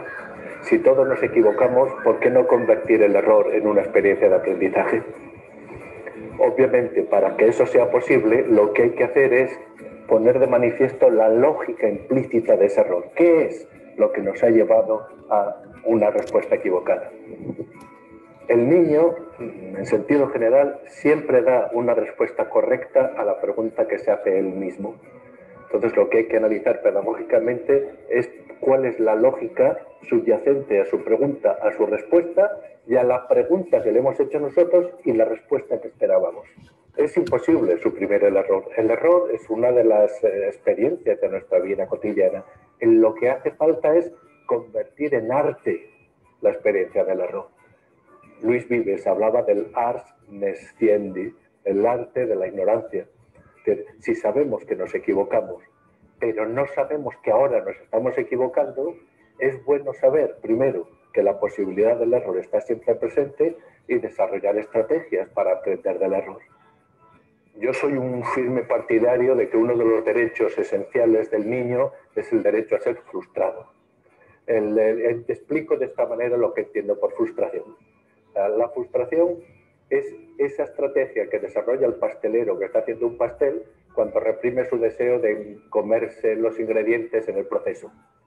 Tiene en definitiva la inteligencia de los medios y de los fines, que es el pensamiento estratégico, o incorpora un dominio de la propia frustración o eh, acaba desarrollando niños caprichosos con pánico al fracaso, es decir, niños narcisistas.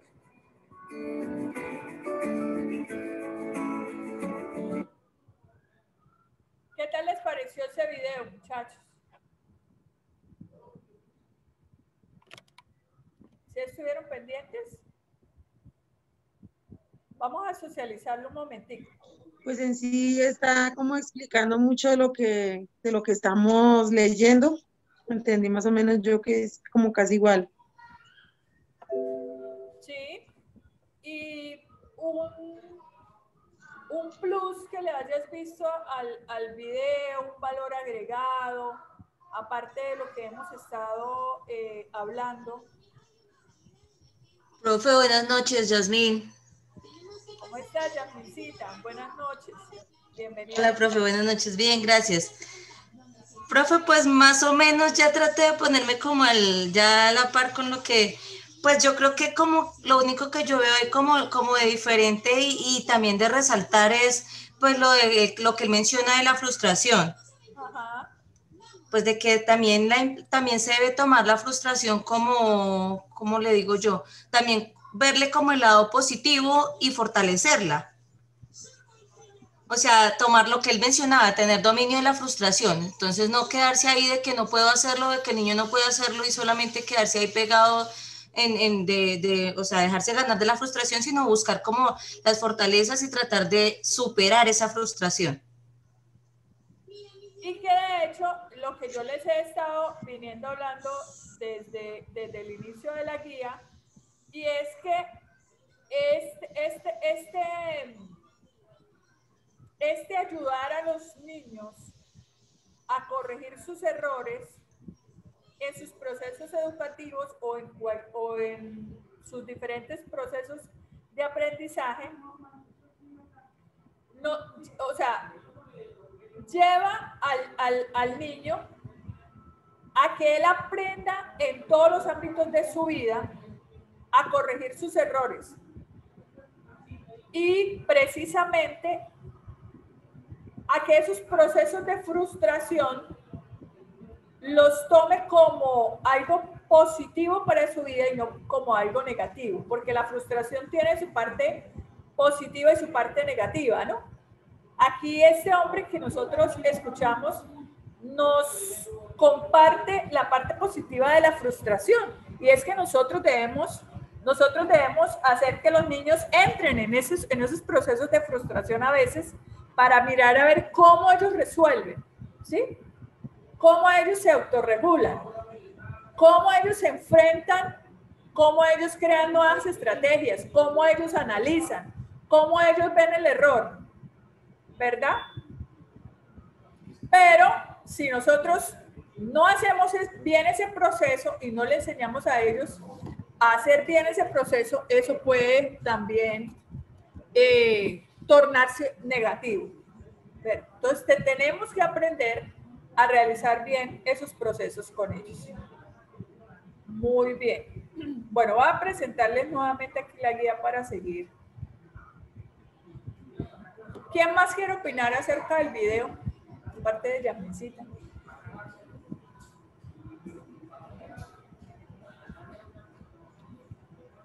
¿Nadie más? Bueno. Vamos a continuar acá.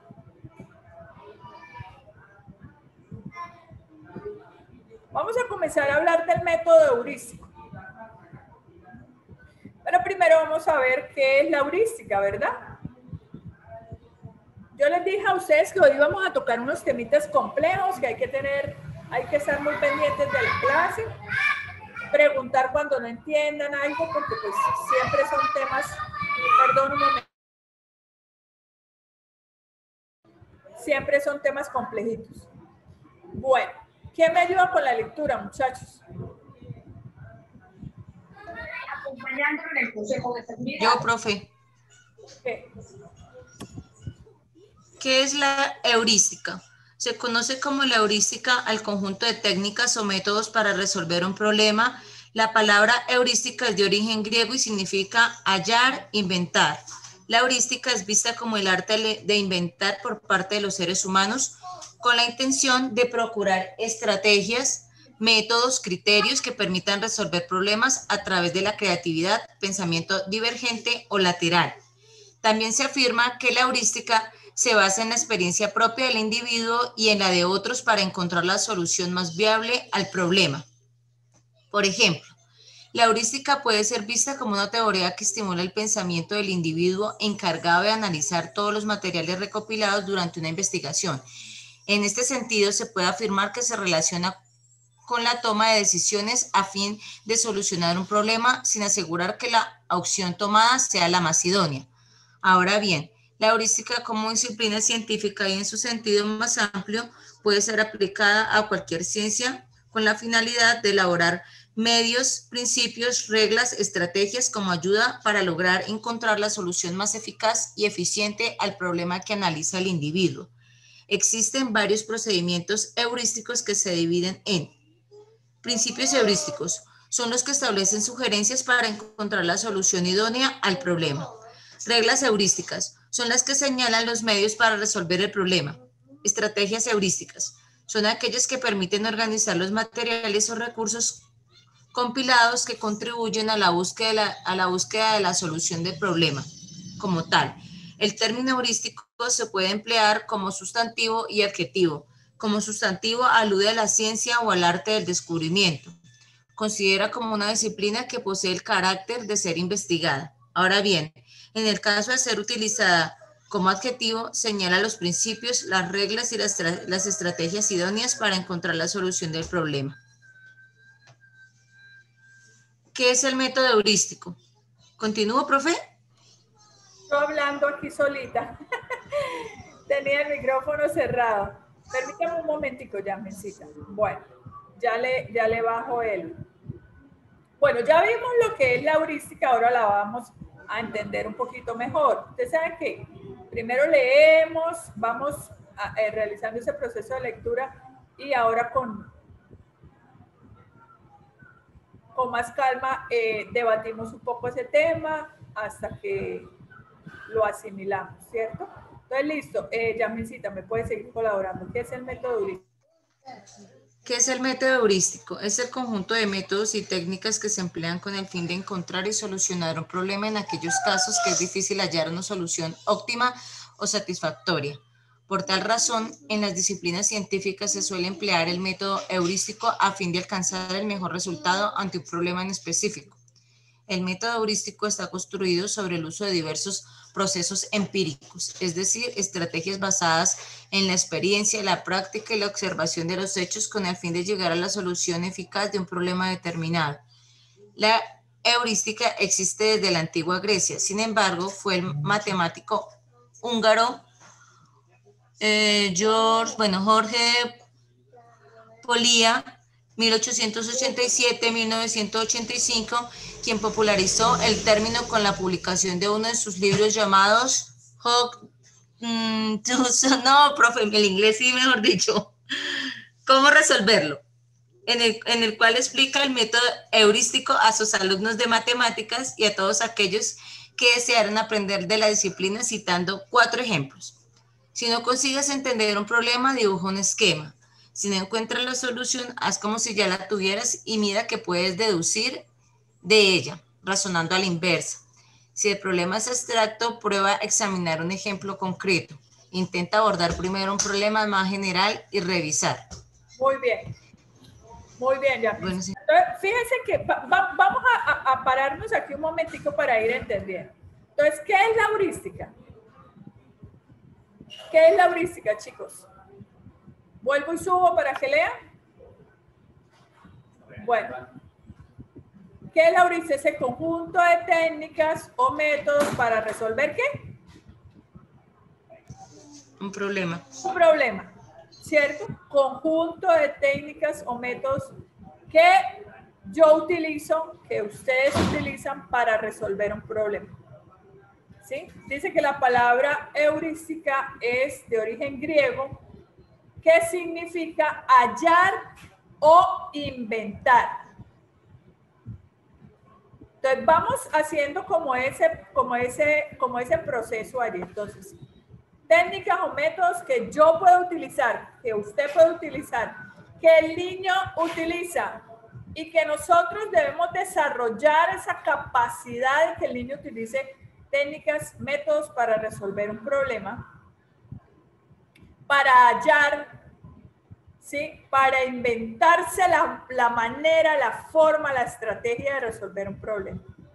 Ahora, aquí ya lo estamos llevando a, a el hecho de, de, este hombre, ¿sí? Este hombre George, este hombre matemático, que en su libro Cómo resolverlo, él habla de que él explica el método heurístico a sus alumnos eh, de matemáticas y a todos y a todos aquellos que deseaban o, desearan aprender eh, de esa disciplina de las matemáticas, citando cuatro ejemplos.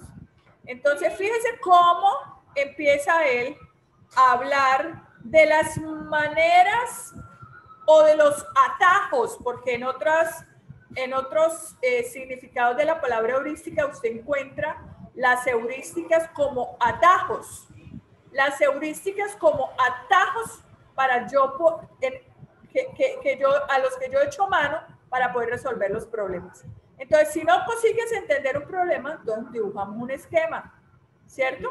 ¿Se acuerda cuando yo les decía la clase pasada cómo lograron ustedes hacer X oye, oye eh, resolver X o Y eh, situación que yo les planteaba o que les he estado planteando durante este módulo en las guías, ¿cómo lo resolvieron? Eh, una compañera me dijo, yo, a mí me tocó dibujarlo en una hoja, hacer como un pequeño esquemita en la hoja, ¿cierto? Entonces, a veces nosotros esos procesos mentales los podemos hacer así de manera eh, memorística o a veces nos tenemos que ayudar de esquemas para podernos, muchos de nosotros tenemos una mente muy, muy esquemática y tenemos que hacer esos, procesos, esos procesos, esos esquemas, dibujarnos esos esquemas en la mente para nosotros poder entender. Yo soy una, yo soy una persona que debo realizar esos esquemas en mi mente para yo poder entender a veces X o Y problema. ¿sí? Eh, si no encuentras la solución, haz, haz, como si ya la tuvieras y mira que puedes deducir de ella, o sea, razonamiento a la inversa. Eso lo hago yo también. A veces digo, bueno, voy a la, a la, a la, a la, a la, a la respuesta, a la posible respuesta, ¿cierto? sobre todo cuando esos, esos problemas que me están planteando, lógico, matemático, vamos a razonamiento matemático, me están planteando problemas y me están dando eh, posibles respuestas, A, B, C, D. Entonces comienzo desde la respuesta a descartar la que, no, la que creo que no, ¿verdad? Entonces no comienzo a solucionar el problema para mirar cuál es la respuesta correcta, sino comienzo a mirar las respuestas para ir descartando la que no, la que yo considero que no es la, la, la, la correcta. ¿Cuántos hacen así? Bueno, aquellas personas que han presentado pruebas, que han presentado exámenes, que han presentado, por ejemplo, pruebas a ver, pruebas IFES, ¿sí? Saben de qué les estoy hablando y que esos son procesos de pensamiento que nosotros realizamos. A mí me funcionan a veces así, a la inversa, ir a las posibles respuestas que me están dando A, B, C, D, ¿sí? Ir descartando desde la misma respuesta la que no aplica. Lo otro que ese, ese hombre les decía es, si el problema es abstracto, prueba a examinar un ejemplo concreto. ¿sí? A veces esas, esas cuestiones abstractas nos dan un poquito duro.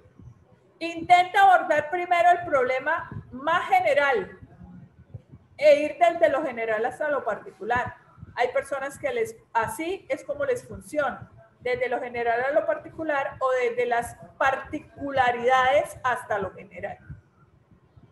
Entonces, esos procesos de pensamiento que nosotros hacemos, chicos, no están lejos o no son ajenos a los procesos de pensamientos que debemos desarrollar en los niños y que muchos niños también llegan a nuestras manos con esos procesos de pensamiento a veces desarrollados desde su casa, porque su mamita y su papito les, les, les, pues les han trabajado mucho esos, esos procesos.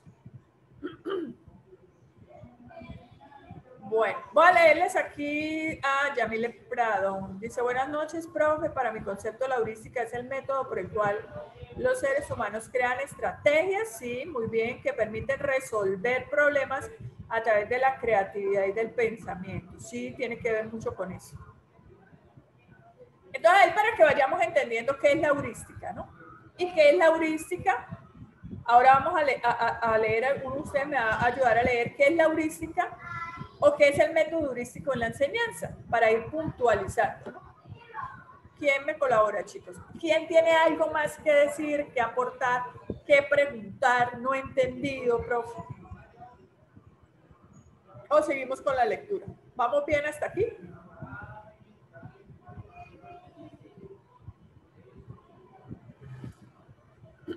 Chicos,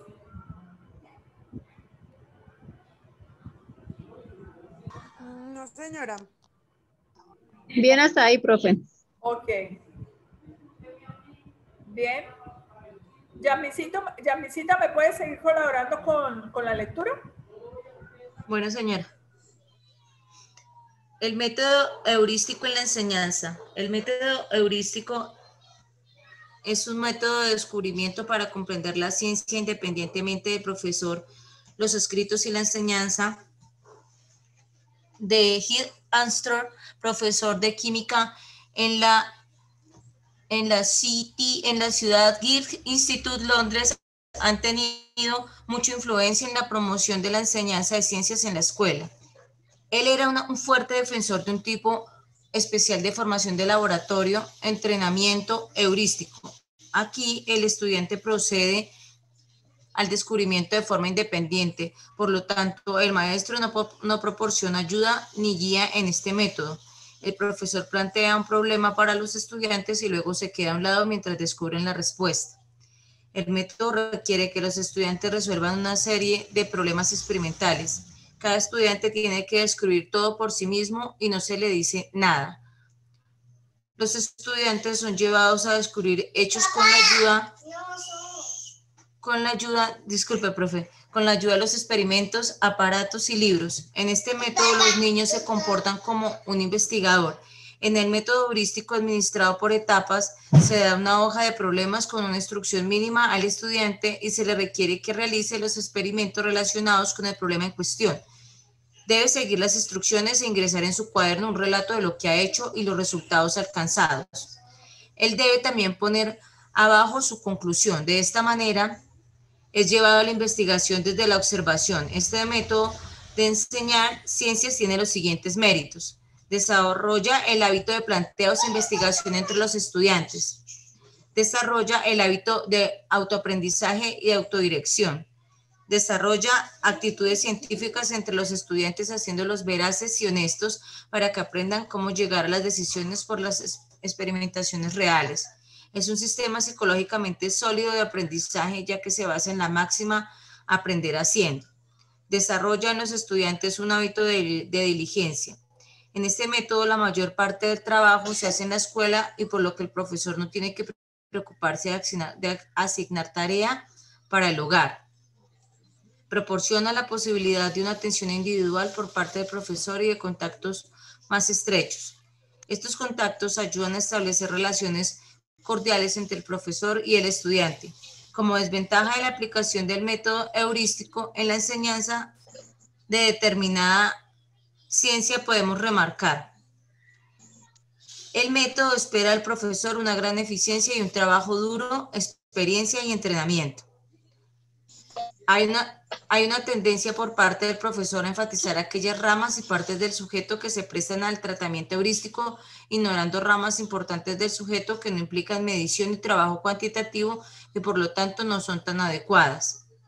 No es adecuado para principiantes. En las primeras etapas los estudiantes necesitan orientación suficiente que si no se les da puede desarrollar un disgusto para los alumnos. En este método se pone demasiado énfasis en el trabajo práctico que puede llevar a un estudiante a formar una idea equivocada de la naturaleza de la ciencia. En su conjunto, creen, crecen en la creencia de que la ciencia es algo que debe hacerse en el laboratorio.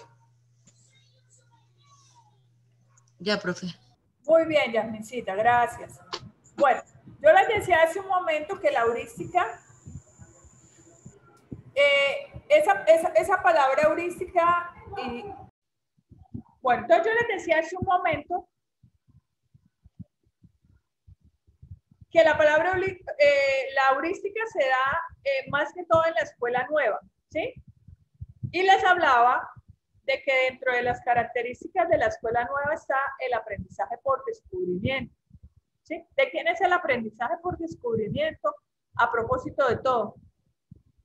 ¿Quién habla del aprendizaje por descubrimiento, muchachos? Me gusta hacerles esas preguntas a ver si se, se acuerdan. Cuando vimos allá psicología educativa.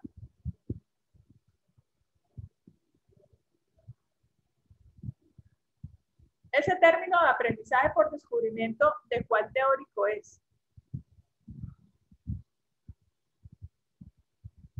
Mientras ustedes están ahí consultando en Google, les decía entonces que la, o les estoy comentando que la heurística se da en la escuela nueva. Dentro de las características de esta escuela nueva está el aprendizaje por descubrimiento. ¿Sí? Dentro de las características de la escuela nueva está el aprendizaje significativo para los niños.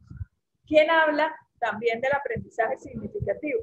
¿Quién habla del aprendizaje por descubrimiento? ¿Quién habla del aprendizaje significativo?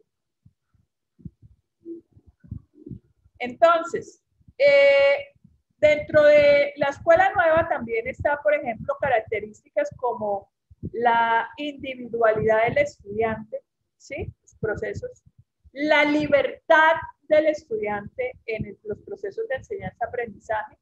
Recuerden que nosotros hablábamos eh, en módulos anteriores acerca de eso, de la libertad y de lo importante que es para el niño eh, tener libertad en, en los procesos de enseñanza-aprendizaje.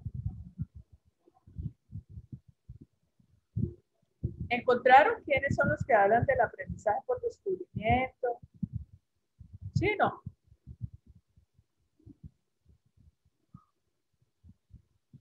Ah, chicos.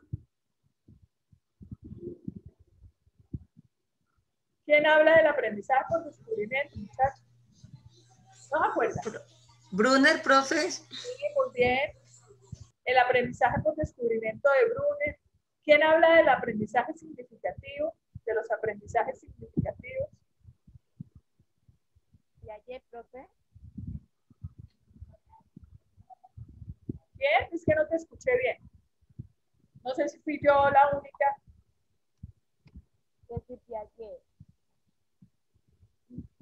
David Ausberg. Ausberg habla del aprendizaje significativo y Brunner habla del aprendizaje por descubrimiento, ¿cierto? Entonces, esas son características del el método heurístico en, en los procesos educativos. Bueno, vamos a realizar este ejercicio grupal, ¿sí? Yo les voy a pedir el favor, ahora que no hemos todavía eh, hecho los grupitos, ustedes le tomen una capturita, dice, hemos escuchado en educación el término de formación integral, esto ha sido tendencia y la intención educativa a través del tiempo, sin embargo, ¿qué entiendes por educación integral? ¿Qué relación tiene la heurística con la integralidad del, del educando? ¿Sí? En el proceso de enseñanza-aprendizaje, claro está. ¿Y qué relación tiene el error con el método heurístico? Entonces, solamente esas tres preguntitas. Ustedes me dicen cuando ya le hayan tomado capturita,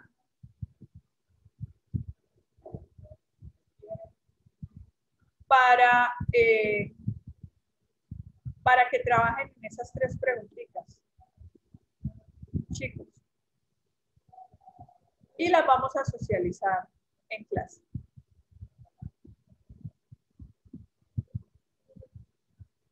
Ya Natalia, listo. ¿Quién más? ¿Ya le tomaron captura? Porque voy a dejar de compartirle, chicos. Sí, señora. Ok. Bueno.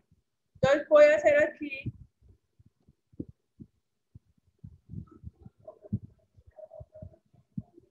voy a mirar cuántos hay para poder que cada uno trabaje con una pregunta. No tenemos número de Bueno, chicas. En la... Tres preguntas para tres estudiantes. ¿Listo? Entonces, cada una con sí, señora. una pregunta y, y, y, ya. Bueno, muchachos. Listo, está bien. Bueno, voy a otro grupo. Bueno, profe. Muchachas, ¿ya se repartieron las preguntitas? Eh, sí, profe, en esa estamos. Ok. Hice los grupos así que fueran tres integrantes para cada grupo, para que cada una trabaje en una, en una pregunta. ¿Tienen alguna pregunta con respecto a las preguntas? Vaya a la cacofonía que deben trabajar. No, profe, hasta el momento no. Ok. Enfatizar en que el niño se eduque en todas sus dimensiones, que ya sabe cuáles son las dimensiones. ¿Sí sabes cuáles son? No recuerdo. Que social, afectiva. ¿Cómo van, chicas? Bien, profe, acá ya, ya, ya inició. Ok. Bueno. Profe, una pregunta por lo menos cuando dice que, entiendes por, bueno, por educación integral, la idea es que eso se haga dentro de un saber, o sea, dentro de un concepto propio o, que busquemos, o que eso se busque por, por Google. Lo puedes buscar por Google, pero puedes tener, tan, puedes, eh, puede también tener tu voz el concepto. ¿Sí? Ah, bueno, listo. Por, ejemplo, Yasmin, hoy en día hablamos de educación integral, sin embargo, vamos al significado de lo que, de lo que es la palabra integral. Y Profe, pues yo le decía a mi compañera que yo interpretaba esa, esa, esa pregunta, pues de que cuando hablamos de integral enfatizamos, o sea, todo, integral es que abarque todo, entonces es que eh, se enfatice en educar al niño bajo todas sus dimensiones, teniendo en cuenta todas las dimensiones del niño y todos los contextos en los que el niño se va a desenvolver. Ajá. es una palabra que abarca mucho.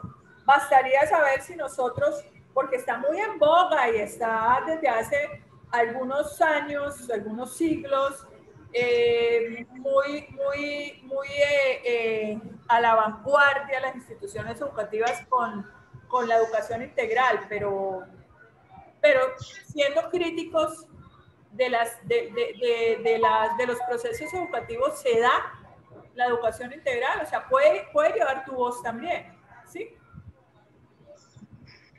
Entonces vamos a hacerlo en 50 y 50, presaber y, y, ayuda de... Ajá. Mira, señora, gracias. ¿Qué más, muchachos? ¿Cómo están aquí? Ya hablaron, ya se repartieron las tres preguntitas. Walter, ¿estás perdidito o ya tus compañeras te pusieron al día? Sí, ellas me estaban diciendo que había una pregunta que era ¿qué significa educación integral? No sé, profe, si había otra pregunta. Hay tres preguntas y las tres deben cada uno trabajar en una pregunta. Entonces, las tres preguntas son las siguientes, las voy a compartir aquí en pantalla para que le saques una fotito porque vi que entraste, o sea, te demoraste en entrar nuevamente, no sé si fue que tuviste un inconveniente allí con la conexión. Entonces, no, profe, es que estoy en, en una clase de la universidad también, entonces estoy en los dos lados. sí, me imagino. Sí, entonces, esas son las tres preguntas en las que van a trabajar en grupo.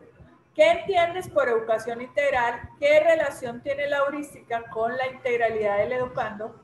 ¿Y qué relación tiene el error con la heurística? ¿Sí? ¿Ya le tomaste capturita, Walter?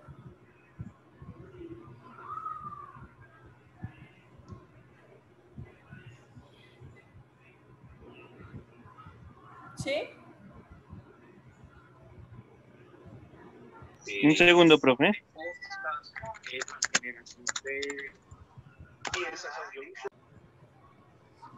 Edith, Cindy y André. Pues bien, profe. Bueno, cada una está trabajando en su pregunta, ¿sí? Sí, profe, lo que pasa es que andamos como bloqueadas y la, la otra. ¿Por qué? Cuéntame por no qué. sé, profe, estamos como bloqueadas, será la hora. Sí, ¿será? Pesadita la hora. Estamos como Pero mentiras, profe, ahí vamos. Bueno, porque estaba pensando en irnos a un descanso. Ustedes terminan de eh, elaborar la respuesta a esa pregunta y volveríamos. Pero entonces voy primero a, a volverlos a, a, integrar en la sala principal para ahí sí eh, irnos al pequeño descanso. ¿Listo?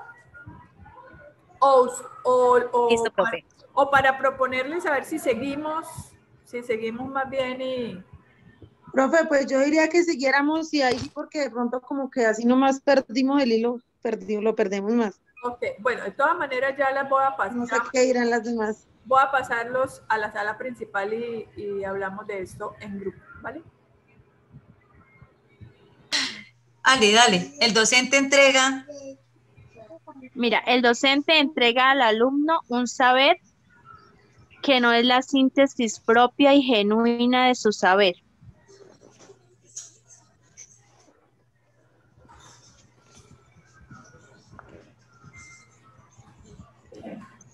De su saber. Oh, oh me perdí.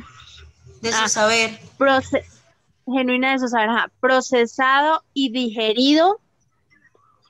Uh -huh. Sino un saber extraído de alguna parte.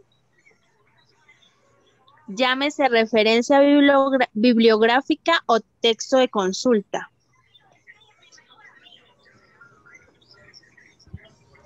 Llámese el alumno. Que, espera, espera, discúlpese. Ya, llámese qué bibliográfica, ¿qué?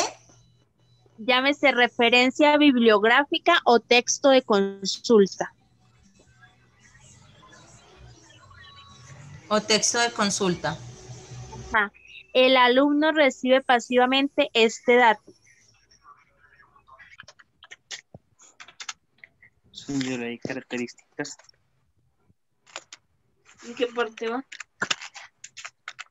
que hay algo así, es aquella que quiere alcanzar a formar todos los aspectos de la vida, por mencionar algunos de ellos, moral, científica, cívica, física, artística, social, cultural, logrando el perfeccionamiento continuo que le permite desarrollarse en la sociedad, partiendo no solo de sus conocimientos, sino que tiene en cuenta su individualidad y características particulares. Tiene la heurística con la integralidad del educando.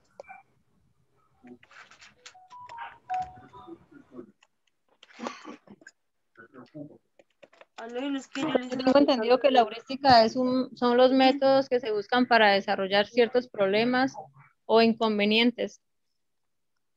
Ya socializándolos con la integridad del educando, sería como buscar alternativas a que el niño sea- eh, se adapte fácilmente a las situaciones que se le presenten durante su vida cotidiana, a su entorno social, a, de alguna manera que se vaya adaptando de acuerdo a su edad, como usted dice, a su individualidad. que el niño pueda encontrar soluciones que se le van presentando, que pueda encontrar soluciones a los problemas que se le van presentando en su vida cotidiana.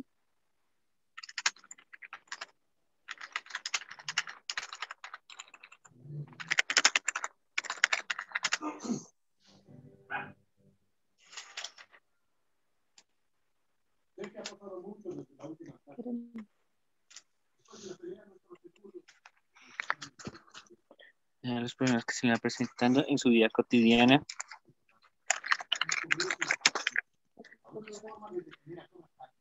Utilizando sus propias capacidades. Sí, y actitudes.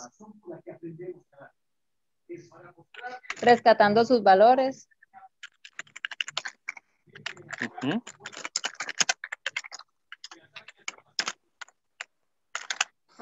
Busca alternativas a que el niño pueda encontrar soluciones a los problemas que se le van presentando en su vida cotidiana, utilizando sus propias capacidades y actitudes, rescatando sus valores y capacidad de adaptación natural. Y quise el perrito que mucho bien. Sí. Aló. y capacidad de adaptación natural y descubrimiento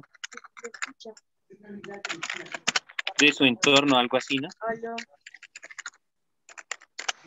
Que haría algo así, buscar alternativas a que el niño pueda encontrar soluciones a los problemas que se le van presentando en su vida cotidiana, utilizando sus propias capacidades y actitudes, rescatando sus valores y capacidad de adaptación natural y descubrimiento de su entorno Que mañana lo llamo. Sí. para desenvolverse.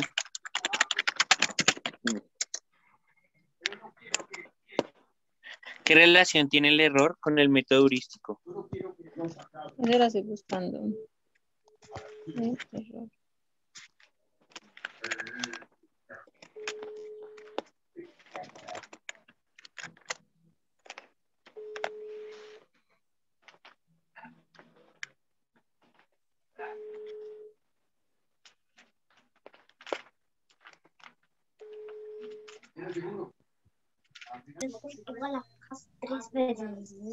Y verificar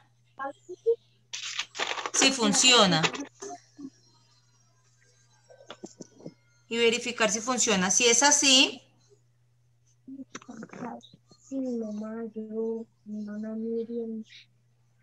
se si es así, se tiene una solución.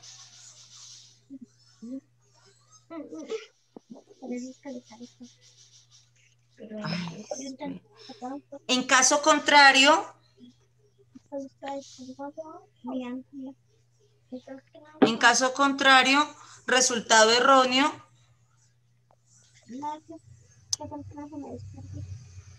resultado erróneo, se intenta una alternativa diferente. Pero que no necesita ser el 25, pero que no sea impostor.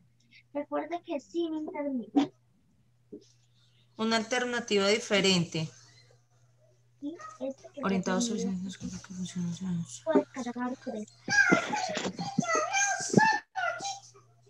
¿Yo acierto ahí?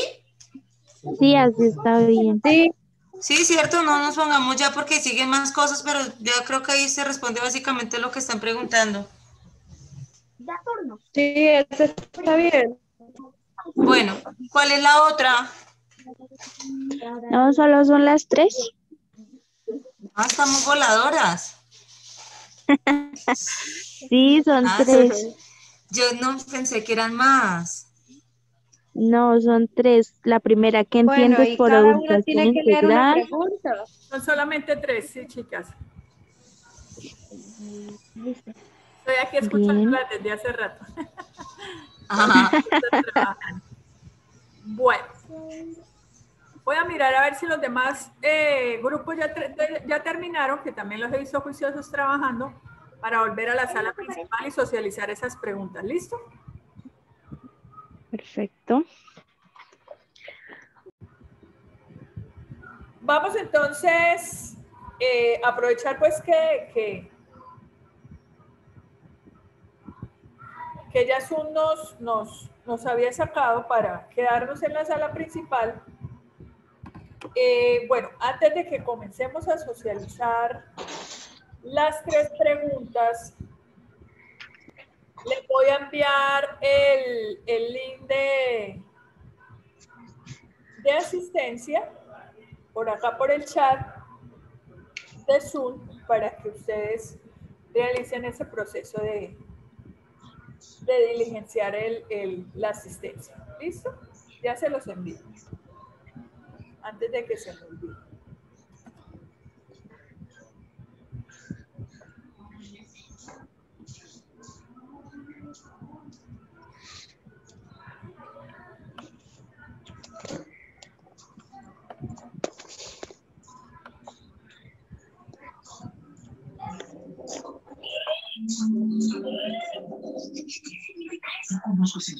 No te lo explico. Bueno, chicos, ustedes me dicen si ya lo logran ver. Ahí se los envié. Por favor, van diligenciando la asistencia. Y vamos a comenzar. Yo tengo aquí los grupos. Son solamente cuatro con el grupo número uno.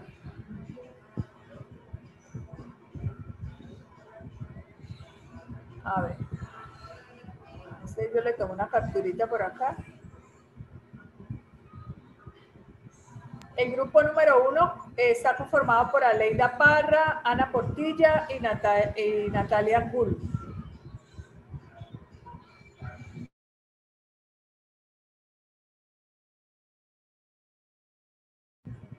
Bueno, muchachos.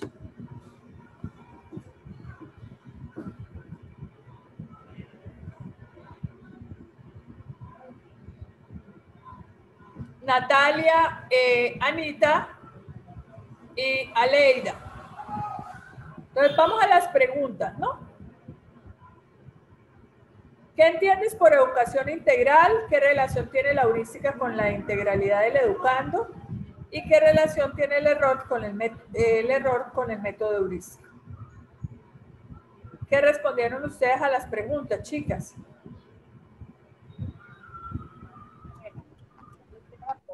Que fue la que me tocó, ¿qué entiendes eh, educación integral?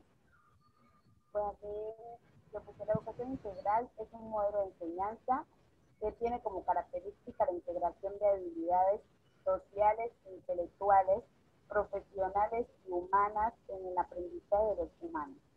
A través de este proceso educativo, los estudiantes entran en contacto con un entorno dinámico de aprendizaje grupal, en el cual se promueve la toma de decisiones conscientes, la introspección personal, el autodescubrimiento y el respeto por las diferencias y culturas individuales. La educación integral otorga las herramientas necesarias para que los niños tengan la mejor formación, ya que no solo es importante desarrollar el aspecto cognitivo, sino también el área emocional y las habilidades físicas. Mi respuesta, profe. Anita. ¿Qué tiene la segunda pregunta? ¿Qué relación tiene la heurística con la integralidad del educando? Yo, profe. ¿Qué relación tiene la heurística con la integralidad del educando? El desarrollo infantil es multidimensional, la cual implica considerar en cada niño las dimensiones físicas y motores que cada niño desarrolle según sus habilidades y capacidades para la resolución de problemas, ya que la heurística es un proceso mental de alto nivel que además de asentarse en procesos básicos, incluye elementos como estrategias y reglas. Esa es mi, respuesta. Muy bien, ¿quién más? La tercera pregunta, ¿quién la tiene? Yo, profe. ¿Qué relación tiene el error con el método heurístico? La expresión ensayo-error es también conocida como prueba y error. Es un método para obtener conocimiento, es probar una alternativa y probar su función. Esto quiere decir que el error es lo que uno puede llegar a cometer en el proceso de aprendizaje y el método heurístico es el desarrollo del conocimiento que se aplica en cualquier problema. Esa fue mi respuesta. Muy bien, Anita. Yo lo voy a escuchar y ahorita eh, vamos a hacer como un resumen, ¿no? Y a rescatar, pues, lo, lo, más valioso de todas las respuestas, aunque todas las respuestas son valiosas para mí, pero como ir, ir redondeando como las ideas, ¿no? En la segunda sala, en la segunda sala estaban Andrea, Cindy y Edith. Andrea, Cindy y Edith. sí, profe. La pregunta es, ¿qué entiendes por educación integral? La educación integral es un modelo de enseñanza que tiene como característica la integración de habilidades sociales, intelectuales, profesionales y humanas en el aprendizaje de los alumnos.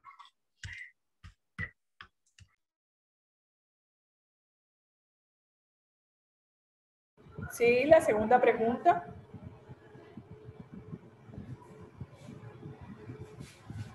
¿Quién tiene la segunda pregunta en ese grupo? Yo, profe. Heurística e integridad del educando. ¿Qué, ¿Qué relación tienen? Son rasgos característicos de los seres humanos desde cuyo punto de vista en sí es el descubrimiento y la invención de resolver problemas mediante creatividad usando tanto sus dimensiones cognitivas como espirituales. Se relacionan por el desarrollo perfectivo del ser humano, es decir, cada educando busca solucionar problemas desde su punto de vista perfectivo, asimismo logrando que el niño relacione los relacione las respuestas desde este mismo punto de vista. Listo, profe. Muy bien. Y supongo que Edith tiene la tercera pregunta. Eh, sí, profe, y es muy similar a la que leyó la compañera ahorita.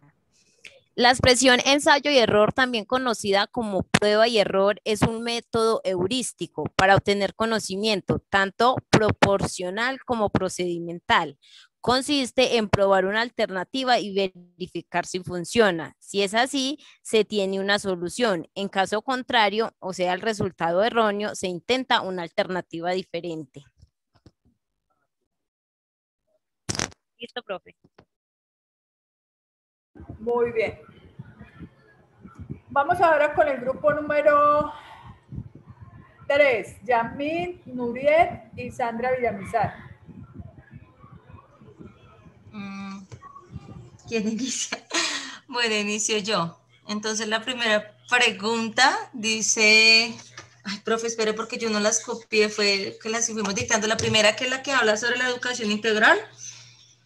Entonces, tenemos la educación integral debe, la educación integral debe dar datos a todos los estudiantes de los conocimientos y habilidades básicas y necesarias para desenvolverse en la vida dentro de los conocimientos, intelectuales, físico, social y emocional, entre otras dimensiones, son las cuales se encargan de englobar la educación integral, que era lo que pues mencionábamos mis compañeras y yo.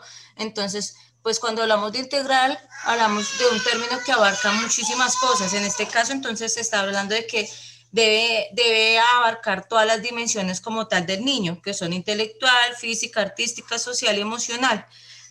La idea es que si se abarcan todas estas dimensiones, pues el niño va a estar recibiendo y nosotros como docentes estaremos eh, dando una educación de calidad y pues esto va a hacer que el niño pues cree, o sea, sea competente en un futuro, porque estas son como las bases para que el niño ya se desempeñe más adelante. Esa es la primera respuesta, profe. Ok. La segunda pregunta, ¿quién tiene la respuesta a la segunda pregunta? Pues todas las copiamos, pero pues no estoy segura entonces ahorita con esta respuesta. Dice, ¿qué relación tiene la heurística con la integralidad del educando? Pues mencionábamos que, pues al hablar de heurística y eso, pues está hablando de una educación entonces de que sea de calidad. Pero entonces en la respuesta que tenemos dice, el docente entrega al alumno un saber que no es la síntesis propia y genuina de su saber procesado y, y digerido, sino un saber extraído de alguna parte. Llámese referencia bibliográfica o texto de consulta, el alumno recibe pasivamente este dato y a través de un ejercicio mecánico llamado examen o evaluación, el mismo docente reclama al estudiante estos datos. Esto es más bien como similar a lo que leíamos anteriormente en la guía, entonces de que entonces el, docente ya le, da un material como tal a lo que hablaban allá de que el laboratorio, entonces acá es que el docente entonces entrega un material al, al alumno y el alumno tiene que resolverlo y pues en base a eso pues debe generar unos resultados, un saber en proporción a lo que aprendió en el desarrollo de ese, de esa, de ese material que le entregó el docente. Ok. Y la ¿Y la tercera? La tercera. Ah, sí, léela tú. ¿Qué relación tiene? ¿Qué relación tiene el error con el método heurístico? La expresión ensayo y error, también conocida como prueba y error, es un método heurístico para obtener conocimiento tanto como proporcional como procedimental. Consiste en probar una alternativa y verificar si funciona. Si es así, se tiene una solución y en caso de que y en caso contrario y el resultado sea erróneo se intenta una alternativa diferente muy bien muy bien bueno chicas ahora vamos con el último grupito que es el grupito de Walter Yamile y Mayra Alejandro bueno profe y nosotros como equipo pues fuimos aportando las ideas, entonces voy a leer como las respuestas a las tres preguntas. Entonces, frente a la primera pregunta que decía, ¿qué entiendes por educación integral? Entonces nosotros decíamos que era aquella que quiere alcanzar a formar todos los aspectos de la vida de las personas, aunque a veces eso se queda en el papel porque en muchos colegios el país dice vamos a formar integralmente y pues eso como que en realidad muchas veces no sucede. Eh, porque en realidad debería aprovecharse eh, para mm, formar todas las dimensiones de la persona, ¿no? Moral, científicas, eh, sociales, físicos, artísticos, culturales, ¿no? Para que así la persona logre un perfeccionamiento continuo. ¿Para qué? Para que le permita el día de mañana desarrollarse plenamente dentro de la sociedad y que él se sienta seguro de sí mismo. No solo por lo que conoce, sino por lo que hace y por lo que es, ¿no? Entonces, también que se entienda sus particulares y, lo, individual que tiene cada persona para ese aprendizaje. Eh, frente a la segunda pregunta, ¿qué relación tiene la heurística con la integralidad del educando? Pues básicamente en buscar alternativas a que el niño pueda encontrar soluciones a los problemas que se le van a presentar. Desde pequeño se va a enfrentar a un montón de dilemas y creo que desde ese momento él está llamado a buscar soluciones para su vida cotidiana utilizando pues, sus propias capacidades y actitudes y rescatando sus valores eh, y tener siempre una capacidad y aprovechando la capacidad de adaptación que tiene el niño desde pequeño y de descubrimiento, porque desde pequeño se, se va a preguntar por qué es eso, cómo funciona y va a intentar utilizarlo, entonces creemos que por ahí va la cosa. En la tercera pregunta dice qué relación tiene el error con el método heurístico. Básicamente nosotros decíamos que las dos buscan que se logre dar soluciones a los problemas, ya que el error permite crear la heurística, que es la realización de operaciones mentales. Entonces básicamente eh, creo que las dos están entrelazadas porque permiten eh, la creación de, y la adquisición de conocimientos basados en los que ya el niño o el estudiante tiene. Excelente, Walter. Trabajaron los tres juntos. En equipo. Sí, sí, sí. Los tres, los tres. Es que lo que, lo que estoy leyendo ahí es lo que escribimos los tres, los tres. Excelente. Me parecen excelentes esas interpretaciones de, de, la, de la parte de la, de la de la palabra integral, educación integral, de la, de la relación que tiene la heurística con la integralidad del educando y de la, lo directamente relacionado que está el error con el método heurístico. Me parece, me parece muy acertadas. Eh, excelentes todos, muchachos. Eh, bueno, nosotros hemos escuchado hablar, obviamente, mucho, como dice ahí el texto, de la formación integral, de, en donde se considera el ser humano en su, eh, como una totalidad, ¿cierto? Eh, y potencial, potenciar eh, en, en, su, en, su en su parte integral al ser humano para hacer posible su desarrollo y su evolución es, es, es una de las de los objetivos a los que, a los que se apunta en muchas instituciones educativas que pues van a la vanguardia, que hablan de educación de calidad, ¿cierto? Sin embargo, si nosotros miramos, por ejemplo, la palabra integral, dice que deriva de la, de la raíz latina tech, o par tectum, que significa cubrir con un, eh, con un tejado que abarca todo el vacío. Y viene también del verbo tejer o tejere, que significa tejer, que ahí pues estamos hablando de la elaboración, ¿sí? De una malla minuciosamente tejida y sin dejar ninguna rendija eh, al descubierto. Entonces, hacer este tipo de proceso de formación integral es un proceso bastante complejo, ¿verdad? Bastante complejo. Y esa integralidad a la que se le apunta, como dice Walter, está, está, está eh, ligada de alguna manera con el desarrollo de los, de los em, con, el, desarrollo en el niño de todas sus capacidades, de todas sus potencialidades, en lo que nosotros hemos venido hablando acerca de, del error. El error forma una parte muy importante y muy esencial de la heurística. De hecho, el error está, está implícito en, ese proceso heurístico. Si ustedes eh, vuelven y leen, por ejemplo, lo que, lo que, lo que, lo que leyeron en su momento acerca de la relación que tiene el error con la parte heurística, nos damos cuenta que ahí habla de lo que es, por ejemplo, el ensayo-error, que es un proceso heurístico, ¿verdad? ¿Cierto? El ensayo-error, que es un proceso heurístico. O sea, todo va directamente ligado. El error con el método heurístico, la heurística con la integralidad del educando, que es a lo que nosotros queremos llegar.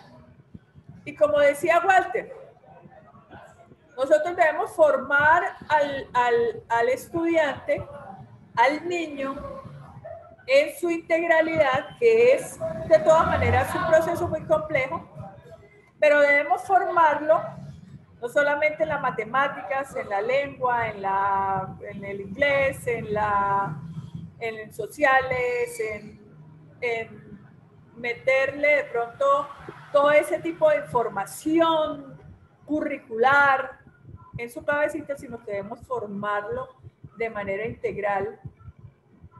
Y, todo este proceso de él eh, reconocer sus errores, cuando está errando, eh, y hacer todo ese proceso, ensayo, error, análisis y nuevas estrategias para, para volver nuevamente a realizar cierta actividad y poder lograr objetivo, el objetivo esperado o que ese proceso sea positivo para su vida,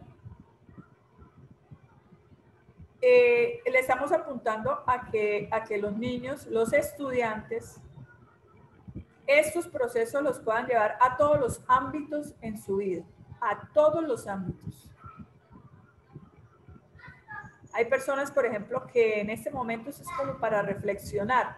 En este, en este momento de su vida adulta, no tiene la capacidad de resiliencia para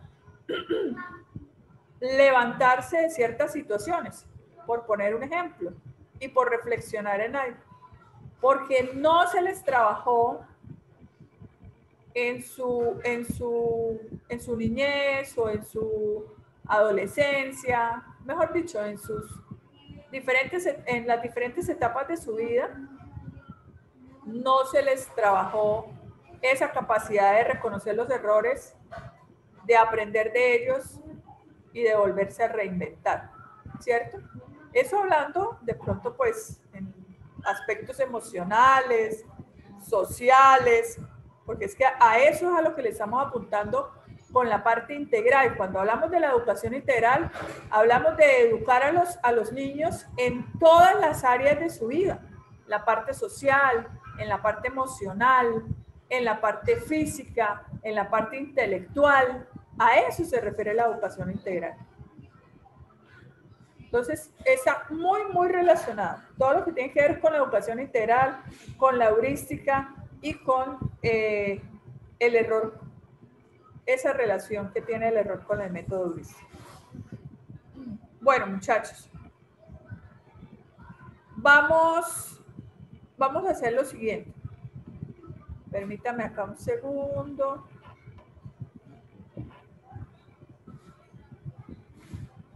Permítame acá un segundo.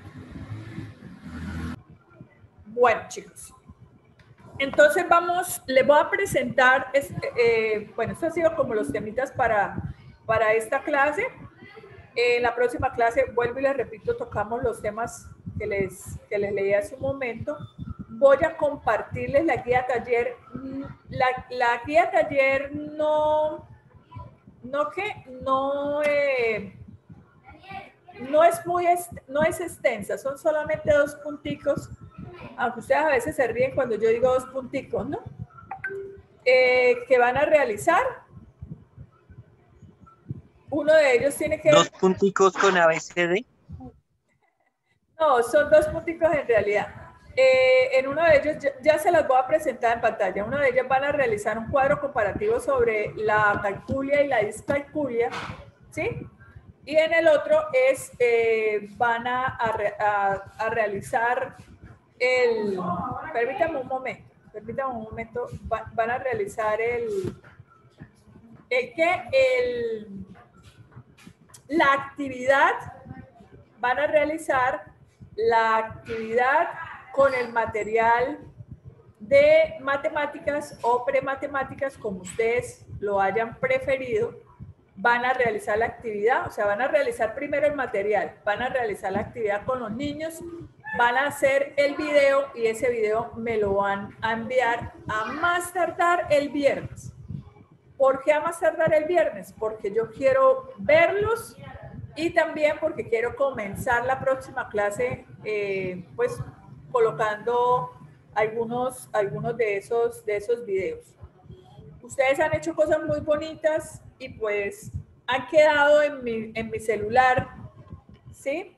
Entonces opté por comenzar a hacer así, o sea, por comenzar a mostrar en las grabaciones de las clases los videos de materiales que ustedes hacen, que yo los envío a que hagan, eh, que son pues eh, compromisos que de, de, los que yo les coloco de los módulos, las actividades que ustedes hacen en cada uno de los lugares en donde viven, con los niños, algunos eh, con sus hijos, otros con eh, algunos niños de, su barrio, en, lugares que, yo, o sea, yo los admiro muchísimo.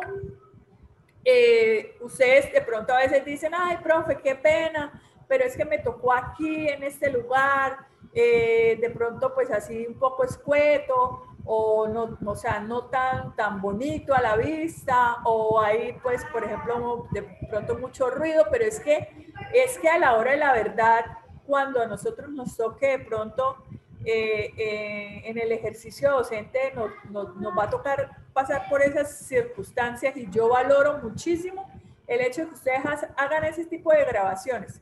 Pues sí, a veces les pido que tengan mucho cuidado con la parte estética, con esto, con lo otro, pero en realidad, en realidad me gusta mucho que sea así, como tan natural, como, como, como tan espontáneo, ¿sí? Entonces, bueno, les voy a mostrar aquí la guía bueno, permítanme acá. ¿Están viendo ahí el, el, pequeño tallercito, chicos? Sí, dos puntos. Sí, dos punticos. ¿Sí ven que son dos punticos? Bueno. Profe, una pregunta, profe. Sí. Una pregunta, ¿es, ¿el taller es lo mismo que teníamos que hacer del juego matemático o esa parte es otra cosa? ¿Cuál taller? este es lo mismo. Ah, Ah, bueno, listo, perfecto. Recuerden que en el pasado yo les coloqué es que fueran adelantando su material, ¿cierto? Aquí ya les coloco ya más específicamente. Eh, realizar un cuadro comparativo sobre la acalculia y discalculia. Listo para que ustedes lleguen con unos tres saberes a la próxima clase. Y realizar un material didáctico para el desarrollo del pensamiento matemático. Ejecutar la actividad y grabarla deben enviar el video aquí. Les iba a colocar. Eh, es, este, se me, se me escapó la palabra. Como evidencia, esa es la palabra. Como evidencia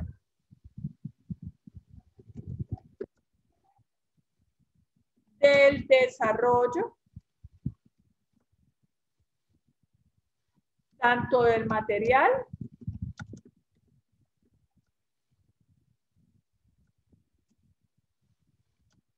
como de su ejecución. ¿Listo? Bueno, entonces,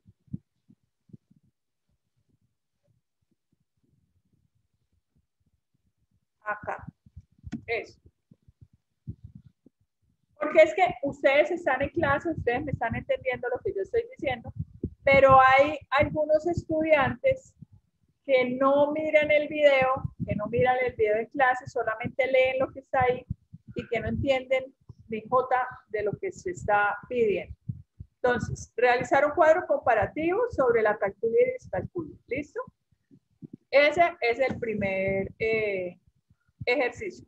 Y el otro, pues ya es realizar el material didáctico para el desarrollo del pensamiento matemático en los niños que ustedes le van a, eh, en los niños en los que ustedes van a ejecutar esa actividad.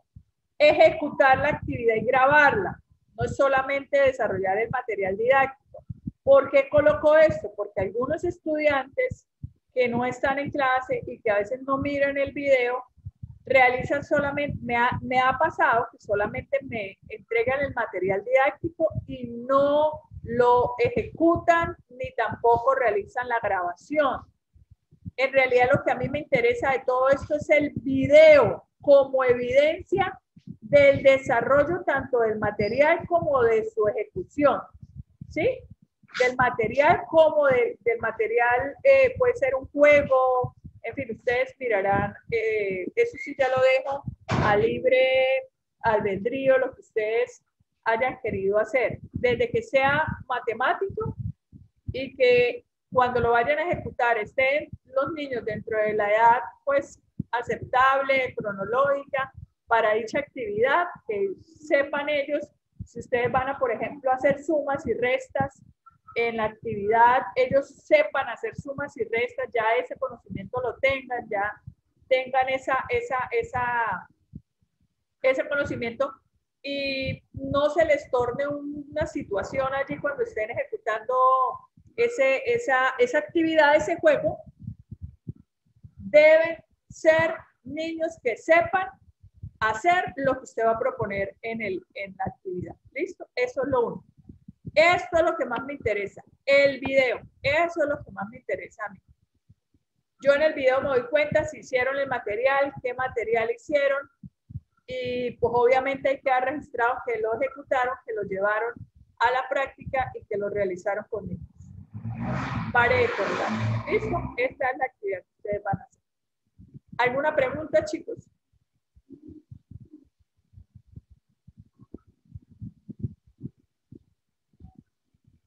Muchachos, ¿alguna pregunta?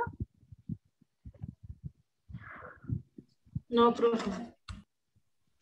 Es claro, profe. No, señora. Bueno, chicos, todos eh, hicieron, yo les coloqué en el chat el, el formato de la, de la asistencia, todos realizaron la asistencia, muchachos. Sí, señora. Ok, bueno, entonces todos eh, realizaron la asistencia y no hay ninguna pregunta con respecto a la actividad, entonces quedamos despedidos, chicos. Que descansen, muchísimas No, profe, yo no me, yo no, yo no he llenado la asistencia.